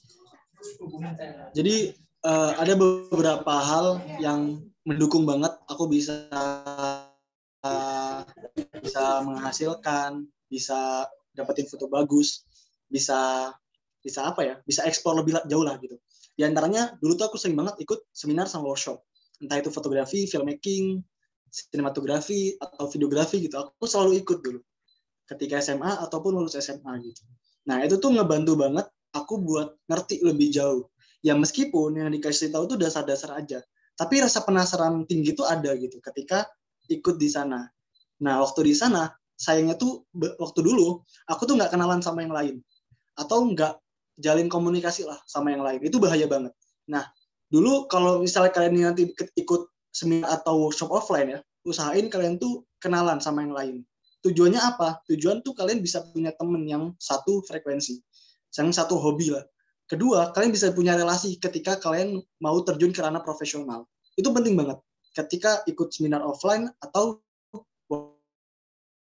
itu waktu itu waktu SMA atau lulus SMA semua yang ada yang di sini yang ikut di workshop kebanyakan tuh bapak-bapak yang udah kuliah lulus kuliah semua. Dan aku cuman anak yang SMA atau lulus SMA karena aku ngerasa aku paling muda jadi aku nggak berani kenalan. Padahal kalau kalian pinter-pinter kenalan tuh jadi jadi momen penting lah di situ. Bahkan materi webinar itu nggak penting. Pentingnya tuh network sama relasi di situ bahkan kayak gitu loh sampai segitunya. Jadi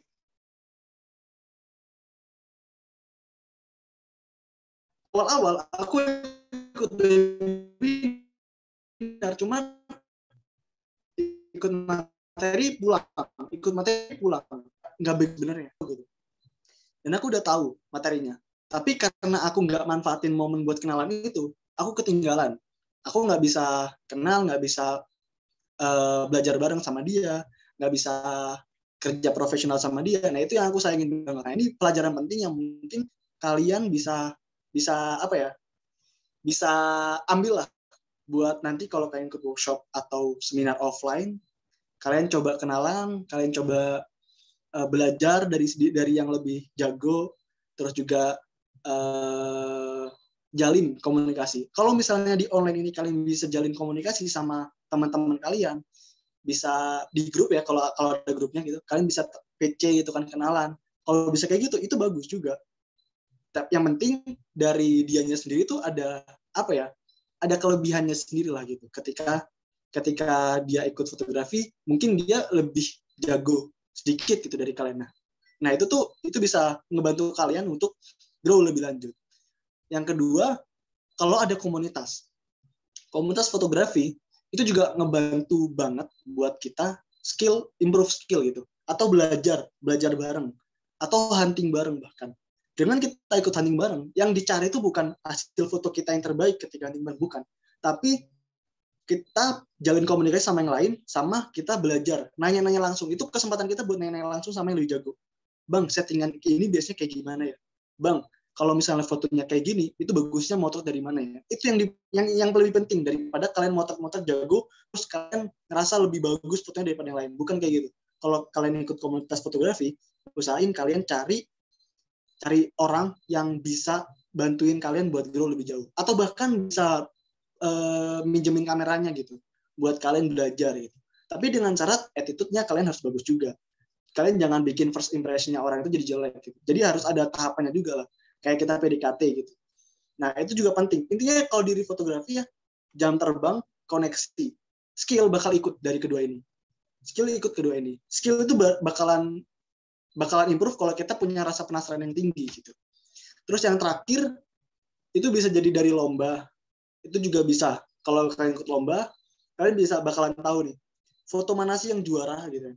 Oh, yang juara tuh fotonya karakternya kayak gini nih oke okay, next aku bakalan coba juga bikin foto yang berkarakter kayak gitu.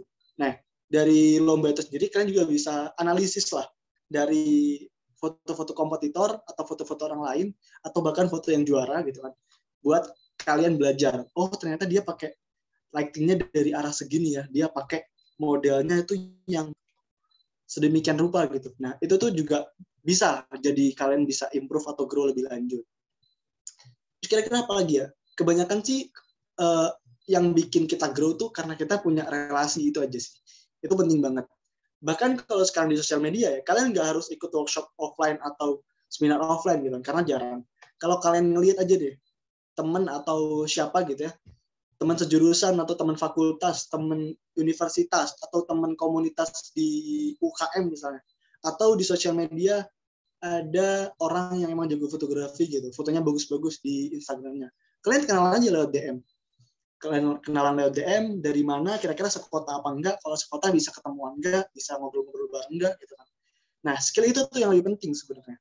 Kalau dari situ aja kalian udah bisa gitu. Selebihnya bakal enak. Bakalan lebih lancar lah. Ntar bakalan lebih dipermulus juga. Mungkin aja bisa dipinjemin kamera, bisa aja di diajarin gitu, diajarin fotografinya gitu kan. Atau bisa diajak ngejob bareng gitu. Tapi dengan syarat attitude kalian jangan Bang, ajarin fotografi dong. Bang, ajarin fotografi dong. Gitu kan. Kenalan tuh ada step by stepnya gitu. Bang, asal mana gitu kan. Fotonya bagus pertama dipuji dulu lah. Bang, fotonya bagus-bagus nih gitu kan. Uh, abangnya dari mana gitu kan. Biasanya hunting di mana gitu. Itu ada bahasa basinya cuy. Nggak bisa kalian langsung, bang ajarin fotografi dong. Ah, nggak bakal dibalas kalian. Karena nggak kalian nggak punya attitude gitu. Kebanyakan yang yang kayak gitu tuh, itu itu yang kayak kalian tuh jadi first impressionnya jelek ke dia. Nah itu jangan sampai. Nah makanya itu penting banget bangun relasi, bangun koneksi di mana aja gitu. Itu sih yang paling bikin grow. Kayak gitu.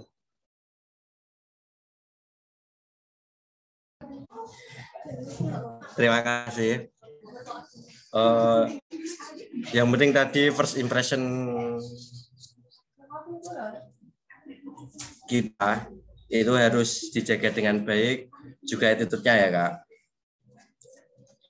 Dan kalau semisal Zoom meeting pada penasaran, kalau mau terjun di dunia fotografi dan mulai dari nol, apa dulu nih yang harus di, dilakuin, yang dikedepanin, yang didahuluin itu apa aja kak? Belajar fotografi dari nol ya? Iya. Tahapannya. Yang tergantung sih, tujuan kalian belajar fotografi itu buat apa? Pertama harus tahu tujuannya dulu. Kalau tujuannya buat pengen foto bagus aja, tahapannya ya kalian harus sering-sering melihat foto bagus dulu. Jadi ketika bank visual kalian udah udah banyak nih foto-foto estetik, foto-foto bagus tuh kayak gimana, kalian nanti bakalan penasaran sama foto itu tuh di fotonya kayak gimana sih? Apa yang harus diperhatiin sih? Nah, itu penting juga. Kalau tujuan fotografinya buat biar fotonya bagus. Nah, tapi kalau buat profesional, tahap pertamanya pasti harus punya kamera dulu. Karena dengan kita punya kamera, kita bisa belajar lebih lanjut, bisa grow lebih lanjut, bisa ekspor lebih banyak. Terus bang, kalau misalnya kita nggak punya kamera dan pengen ke profesional, apakah bisa? Ya, otomatis kalian harus juga minimal minjem lah atau sewa lah, gitu loh. Kalau nggak punya itu minimal kayak gitu, loh, ada effort ke sana gitu. Dengan kalian tujuan nanti bakalan ngasihin duit lagi ke kalian gitu. Ya meskipun prosesnya nggak nggak bentar, tapi ya itu tuh jadi penting gitu. Karena kalau pakai HP juga sebenarnya itu juga jadi keterbatasan. Tapi lagi-lagi tergantung genre foto yang kalian mau tekunin itu genrenya apa. Kalau foto produk, video produk, foto makanan yang yang kita tuh bisa explore dari dari subjek fotonya itu pakai kamera HP juga bisa. Yang penting konsep fotonya kayak gimana, terus produk yang kalian foto apa, terus propertinya atau elemen mendukungnya apa kira-kira itu kalian bisa manfaatin. Terus lightingnya juga dari mana gitu. Itu juga kalian perhatiin.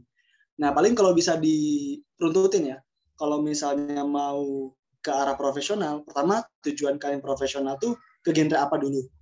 Nah, kalau nggak tahu genrenya apa yang mau diterjunin, kalian harus coba dulu semuanya. Kalian harus coba dulu semuanya dari mulai wedding, pre-wedding, street, terus juga foto, uh, food, produk gitu kan. Kalian harus tahu dulu. Nah, kalau udah tahu nih, ada genre-genre fotografi apa aja yang bisa kalian tekunin gitu kan. Misalnya dari food atau wedding lah ya, wedding gitu. Wedding mungkin nggak sih? Kita bisa belajar pakai kamera HP gitu, mungkin nggak sih? Nah, itu kalian mikir aja deh pakai logis gitu. Gimana caranya kalian foto wedding pakai HP gitu. Nah, itu bakalan susah karena foto wedding itu ada kayak ketentuan tertentu dari pemilihan lensanya, terus juga dari pengaturan cahayanya, dari uh, settingan kameranya juga gitu. Nah, itu juga harus dipikirin gitu. Nah, kalau emang butuh kamera, berarti kalian harus sewa kamera atau harus pinjem lah kalau ada teman yang punya kamera pinjem dulu kamera buat latihan-latihan gitu. atau bikin portofolio gitu. Nah, habis itu baru nanti kalau udah cukup jago nih, tapi nggak menghasilkan menghasilkan, berarti kalian harus cari teman. cari temen yang udah ngejob duluan minta diajak job juga atau enggak diajak job tapi nggak dibayar itu tuh nah yang, yang penting tadi tuh ketika kalian pengen belajar fotografi dari nol kalian harus tahu tujuan belajar fotografi dari buat apa dulu. Kalau udah tahu buat apa nanti selebihnya ngalir aja gitu. Pasti kalian tahu lah aku pengennya jadi ini gitu fotografer wedding fotografer produk gitu. Nanti bakalan kalian tahu, kalian tahu sendiri gitu tahapannya bakalan ke mana ke mana ke mana gitu. Karena setelah udah masuk ke sana itu bakalan ada banyak lagi rintangannya. Kayak gimana cara cari kliennya promosinya lewat apa price bagaimana. Terus pakai lensa berapa yang cocok lightingnya harus pakai gimana gitu. Itu bakalan banyak lagi gitu. Jadi yang penting tujuannya itu kalian buat apa alasannya apa masuk ke genre mana kuning kayak gitu sih.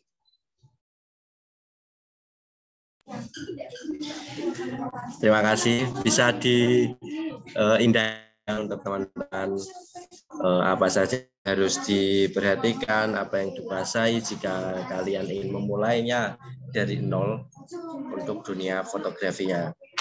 Nah, untuk semisal ini kak, uh, pada penggunaan smartphone, smartphone biasa kan kadang keresahan dari kita kita ini itu masalah uh, backlight. Kalau semisal kita, kita fokuskan ke objeknya, itu pasti backgroundnya putih. Dan kalau ke background, itu objeknya yang hitam. Nah, itu untuk menghindari itu atau ada cara lain itu apakah ada kak? Atau emang uh, dimaklumin saja emang penggunaannya hanya smartphone biasa. Kalau masalah backlight itu sebenarnya masalah pada posisi kita untuk memposisikan cahaya ke objek gitu. Karena namanya backlight itu kan cahaya itu dari belakang. Cahayanya di sini. Kita motret dari sini gitu misalnya. Nah pasti backlight lah. Pasti dirinya kita tuh gelap, belakang yang terang. Kalau kita fokusin ke kita, kita yang terang, belakangnya yang, yang gelap gitu, yang jelek gitu jadinya. Nah kita ganti posisi otomatis gimana caranya kita bisa terekspos dengan cahaya yang ada di sini. Berarti kita harus foto objeknya di sini gitu. Kita motretnya dari sini. Jadi biar nggak membelakangi cahaya kita gitu. Kalau namanya backlight ya kalau gitu ya. Paling yang masalahnya karena ya kalian tinggal posisi pindah posisi aja kalau pakai cahaya matahari. Kalau pakai cahaya buatan ya tinggal lightingnya aja yang digeser gitu. Itu masalah posisi sama arah sebenarnya. Kalau backlight.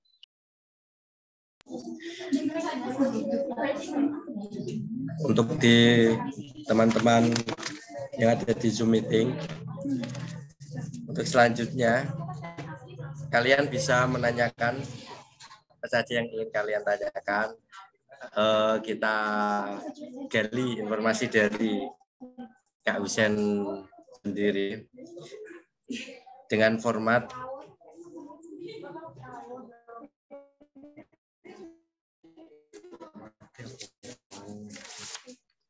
mengajukan pertanyaan dengan format tanya nama lengkap, tanya underscore nama lengkap, underscore interaksi, underscore pertanyaan. Bisa di like.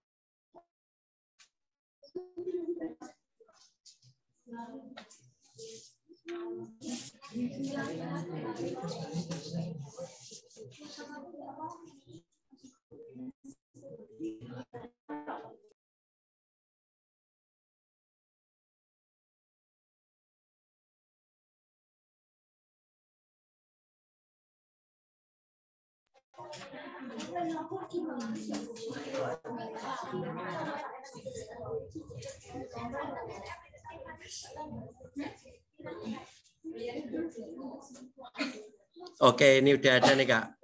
Satu dari Windia, eh, Winda Wulandari dari Universitas Garut.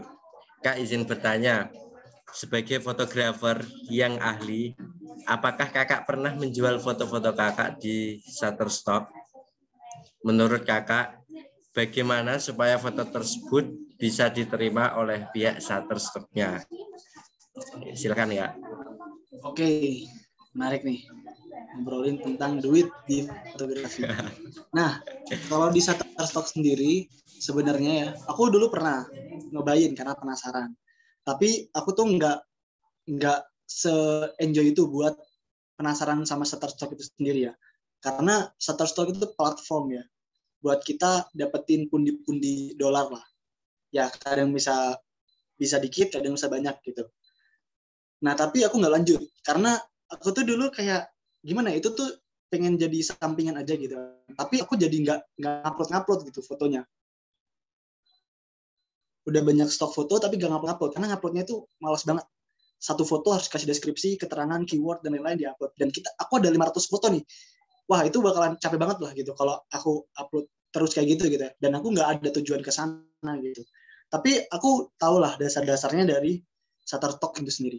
Nah, Shutterstock ini tuh platform ya buat kita jualan foto kita. Mau apa pun lah, kita bisa jual. Tapi dengan syarat, kalian tuh harus tahu juga, foto-foto kayak gimana sih yang biasanya laku di Shutterstock.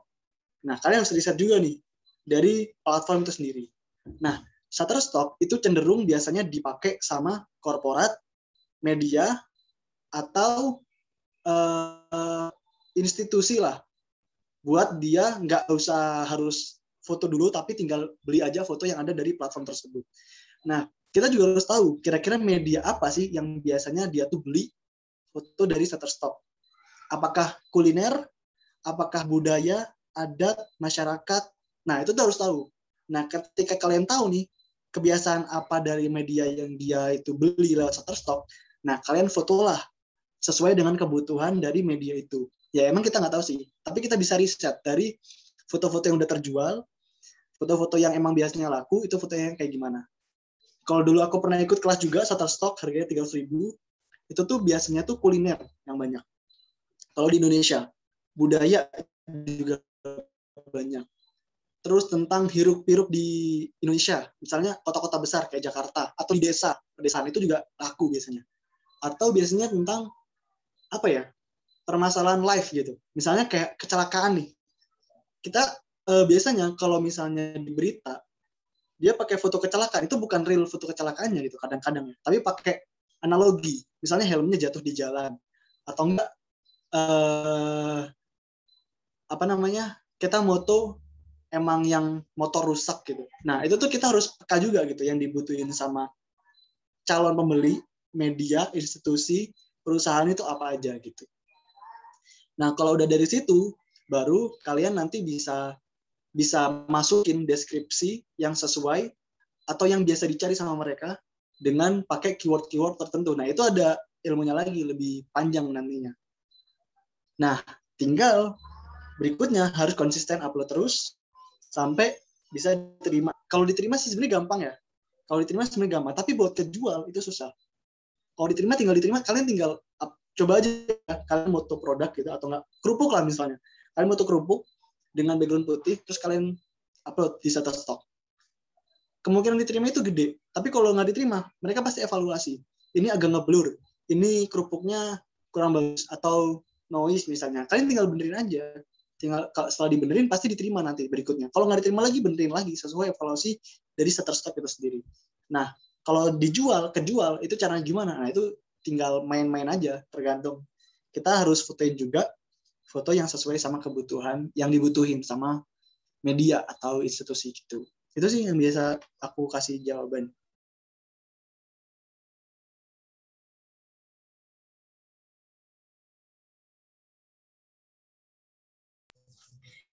Oke, terima kasih untuk Kak Husen atas jawabannya.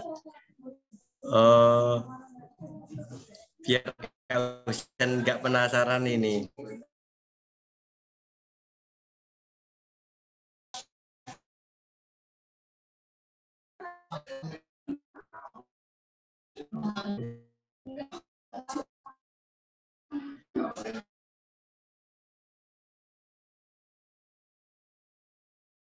Dari Kak Sofia Wahida.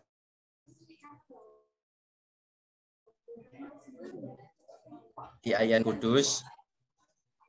Kak izin bertanya, mengambil foto kalau lama itu pastinya akan blur. Pertanyaan saya, bagaimana Nah, aku juga nggak tahu yang dimaksud gimana. Bisa jelasin kira-kira? untuk Kak Sofia bisa on cam?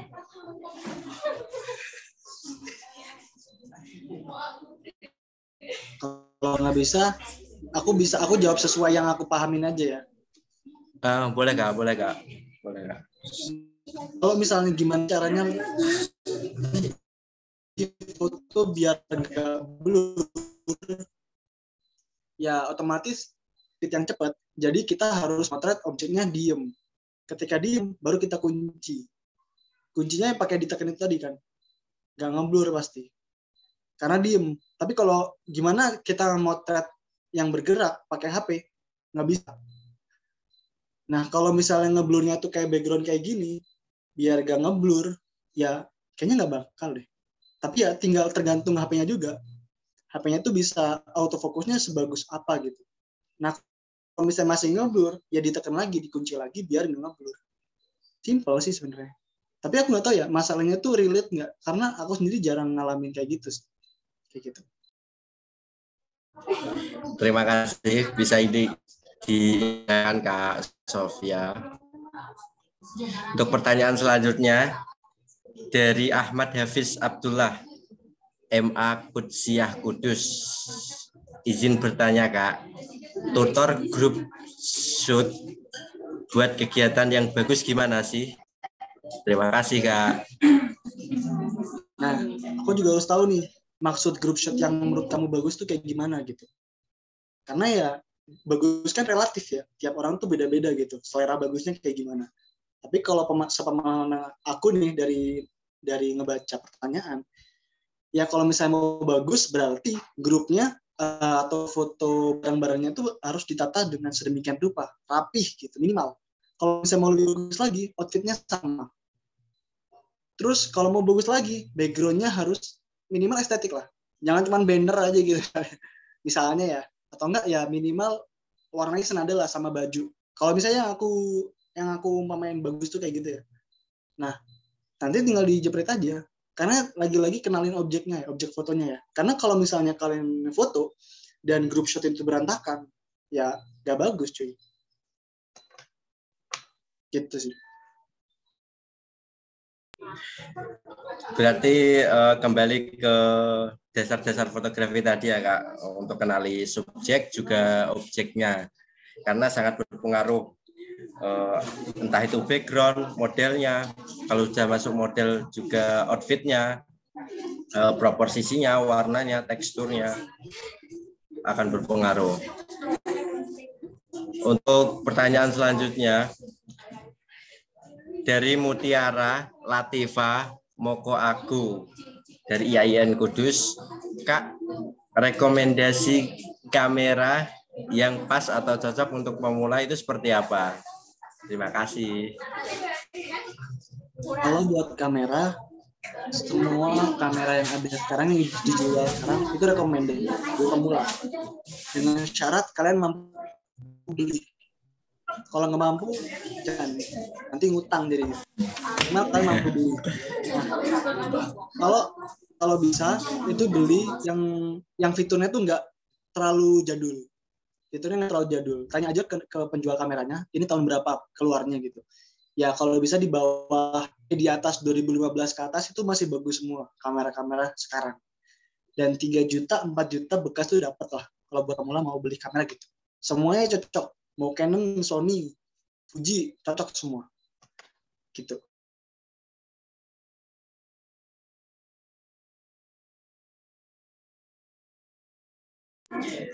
Eh, jadi mencoba menyimpulkan ini kamera terbaik Anda yaitu kamera yang paling Anda kuasai, bukan kamera yang paling mahal Anda beli. Gitu ya, Kak? Jadi mau sebagus apa pun kalau emang dari penggunanya sendiri kurang skill ataupun wawasan mengenai fotografi tersebut, ya susah. Untuk eh, pertanyaan selanjutnya, masih ada ini kayaknya.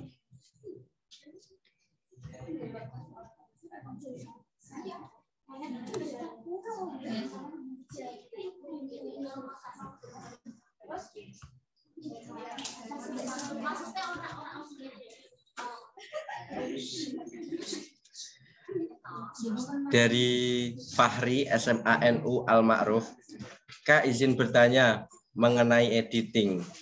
Bagaimana cara belajar yang efektif supaya mahir dalam editing, utamanya color grading?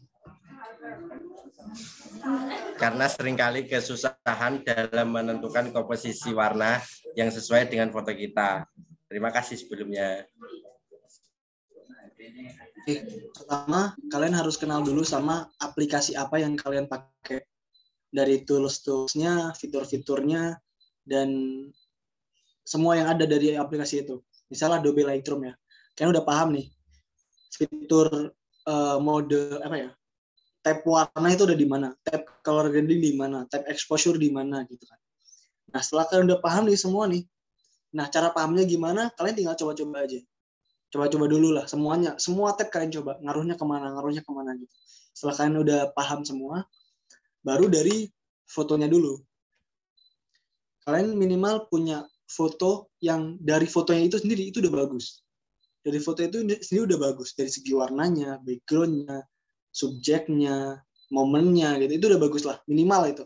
Kalau kalian mau belajar color grading. Nah setelah itu kalian mau edit nih. Sebelum diedit kalian minimal minimal udah punya referensi warna foto yang mau disamain. Jadi ada kalian punya foto nih belum diedit nah kalian juga cari referensi foto yang kalian mau foto kalian tuh kayak warnanya kayak yang direferensi gitu misalnya agak hijau hutan gitu atau hijau wedding biasanya kan kayak atau hijaunya lebih ke pudar gitu misalnya kayak gitu lah nah setelah itu kalian tinggal edit karena kalian udah kenal kan sama toolsnya sama aplikasinya Nah, kalian tinggal edit sesuaiin aja sama referensinya. Kira-kira bisa mirip banget atau enggak. Nah, itu yang pertama.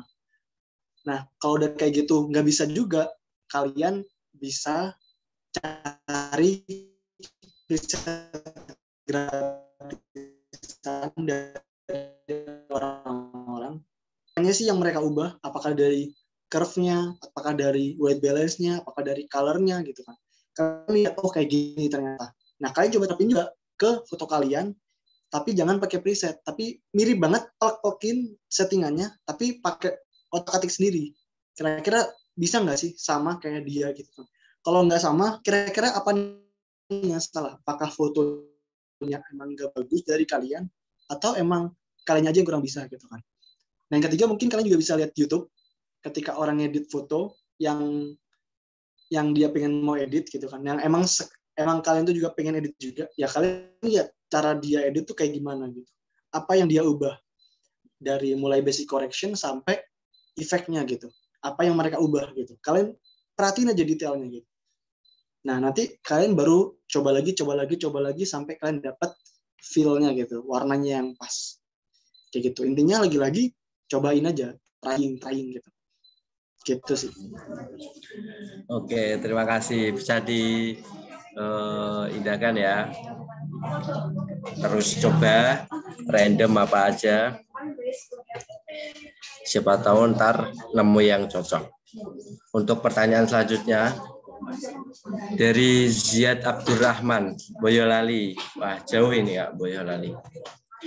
Adakah APK atau tambahan apa pun untuk memperbagus kualitas fotografi kak?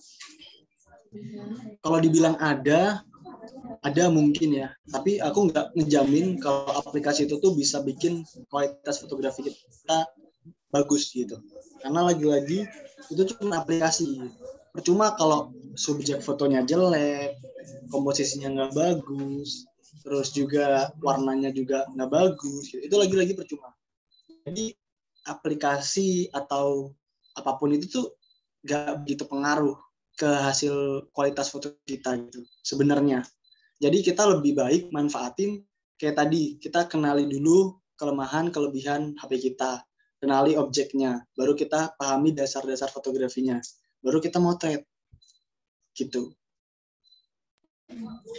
Baik, benar sekali ya. Kita uh, kalau udah terjun ke masalah editing atau APK-nya, jadi fix pick yang kita bawa itu juga harus mumpuni.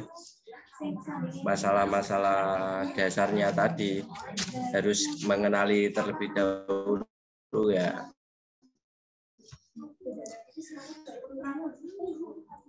Pertanyaan selanjutnya yaitu dari Reha Jaufi Hawala SMA NU Al Ma'ruf Kudus. Izin tanya Kak, apa tips untuk high speed fotografi? Thanks in advance. Kalau misalnya mau foto high speed fotografi pakai HP itu nggak bisa, karena menurut aku HP nggak bisa dapetin shutter speed yang paling cepat gitu kayak di kamera. Tapi nggak tahu ya kalau HP-HP yang cukup mahal gitu, yang mode pro-nya ada shutter speed yang tinggi gitu. Tapi kalau di kamera itu bisa banget. Tapi juga tergantung yang di foto itu apa dulu gitu kan. Apakah pecahan kaca terus kita foto biar dapetin percikan-percikan pecahan-pecahan kacanya gitu atau air yang kita foto secara cepat gitu kan biar dapetin butir-butir airnya gitu. Nah, kalau tips untuk high speed fotografi sendiri ya ya gak, gak ada sih tipsnya kayak gimana karena tergantung objeknya yang kalian foto apa terus lensanya kalau misalkan pakai kamera pakai lensa berapa terus autofokusnya mungkin autofokusnya harus cepat juga kalau pakai kamera. Karena kan itu kan cepat banget ya kita mecahin kaca misalnya atau kita ngelempar air gitu biar dapetin butiran-butiran airnya.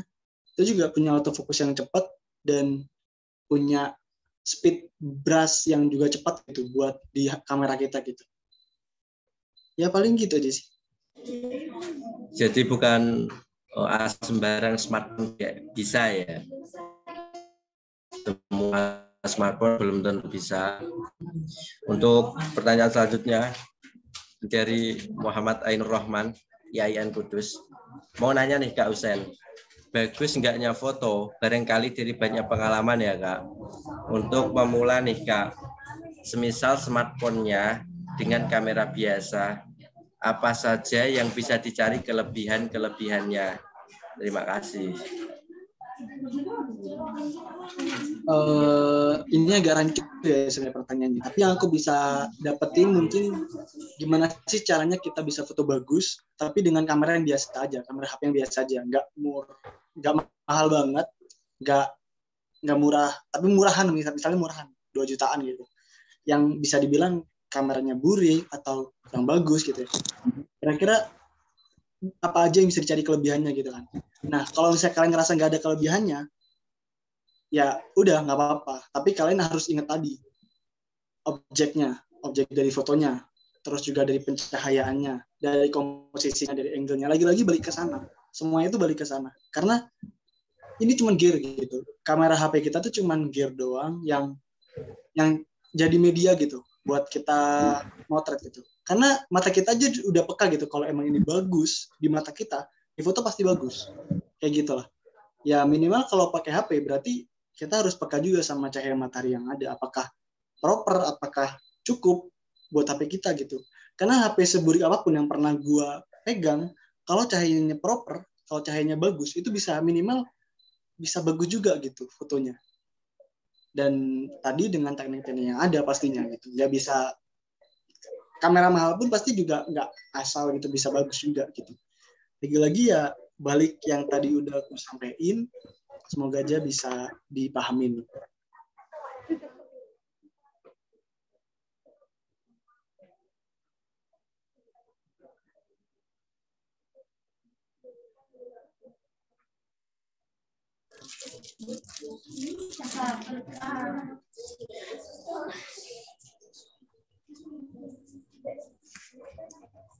Jadi kembali lagi ke tadi lagi ya kak, kita harus punya dasar yang kuat mengenali eh, apa saja dasar fotografi karena smartphone itu cuma gear kembali ke usernya eh, siapa yang mengguna yang menggunakannya untuk teman-teman di Zoom meeting bisa presensi daftar hadir peserta talk show fotografi melalui link yang sudah dikirim di live chatnya.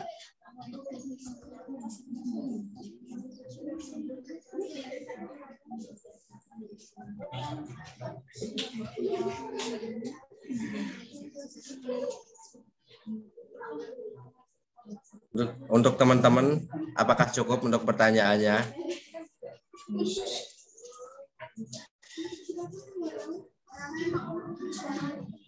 Oke, cukup, cukup enggak?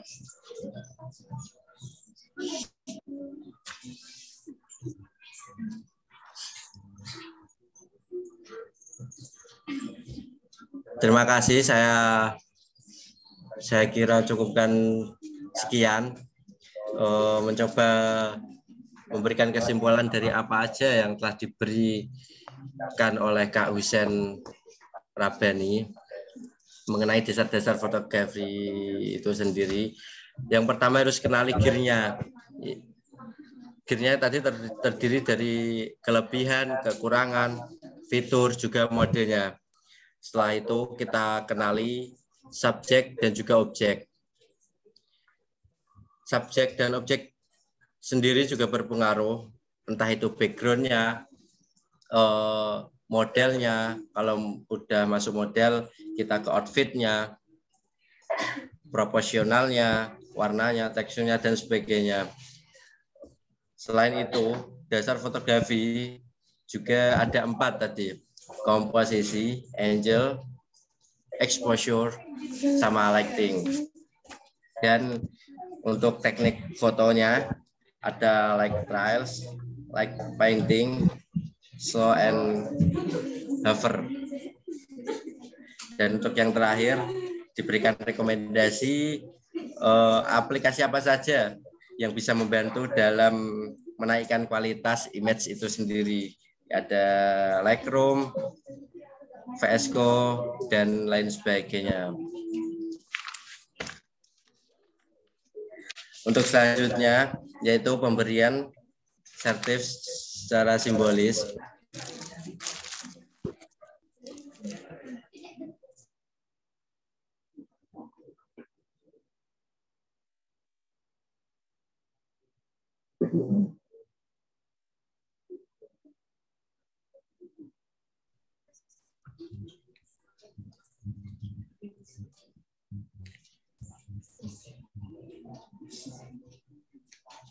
Yang akan di share screen.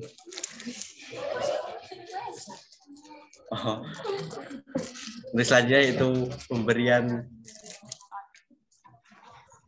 eh, bingkisan ataupun kenang-kenangan dari kami untuk Kak Usen.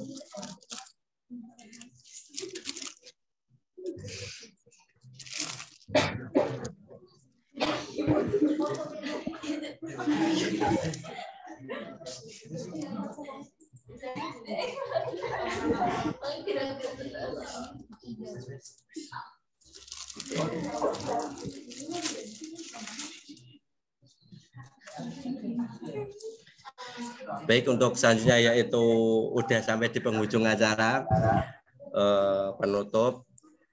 Kami dari HMPS dari Matematika IAIN Kudus mengucapkan banyak sekali terima kasih atas kesempatan waktunya luangkan eh, luangan waktunya dari Kak Husen Rabani untuk memberikan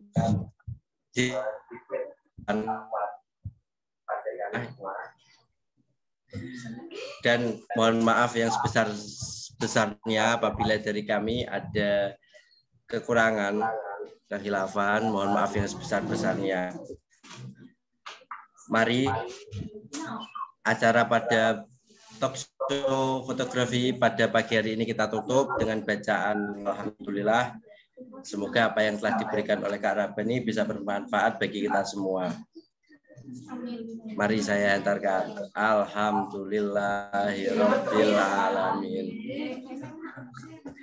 Baik, yang terakhir yaitu sesi foto bersama.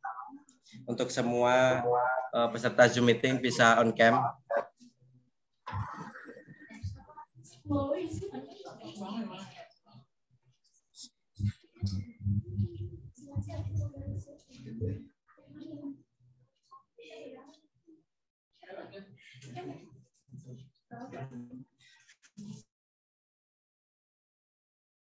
on cam semua.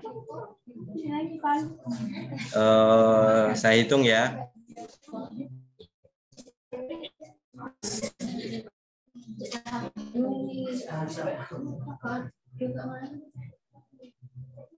Satu, dua, tiga. Oke, lagi-lagi satu kali lagi. Satu, dua, dua, tiga.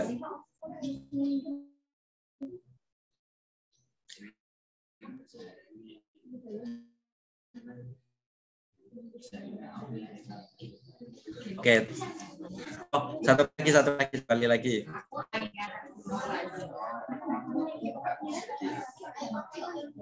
On cam semua ya. Masih banyak ini yang belum on cam. Ya. Oke, siap. Satu, dua, tiga.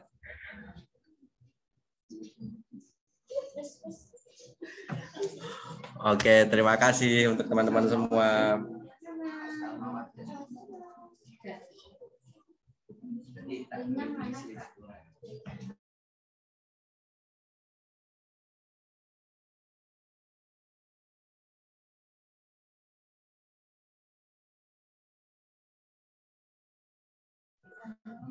Untuk teman-teman yang belum absen bisa presensi di link yang sudah dikirimkan di live chat-nya.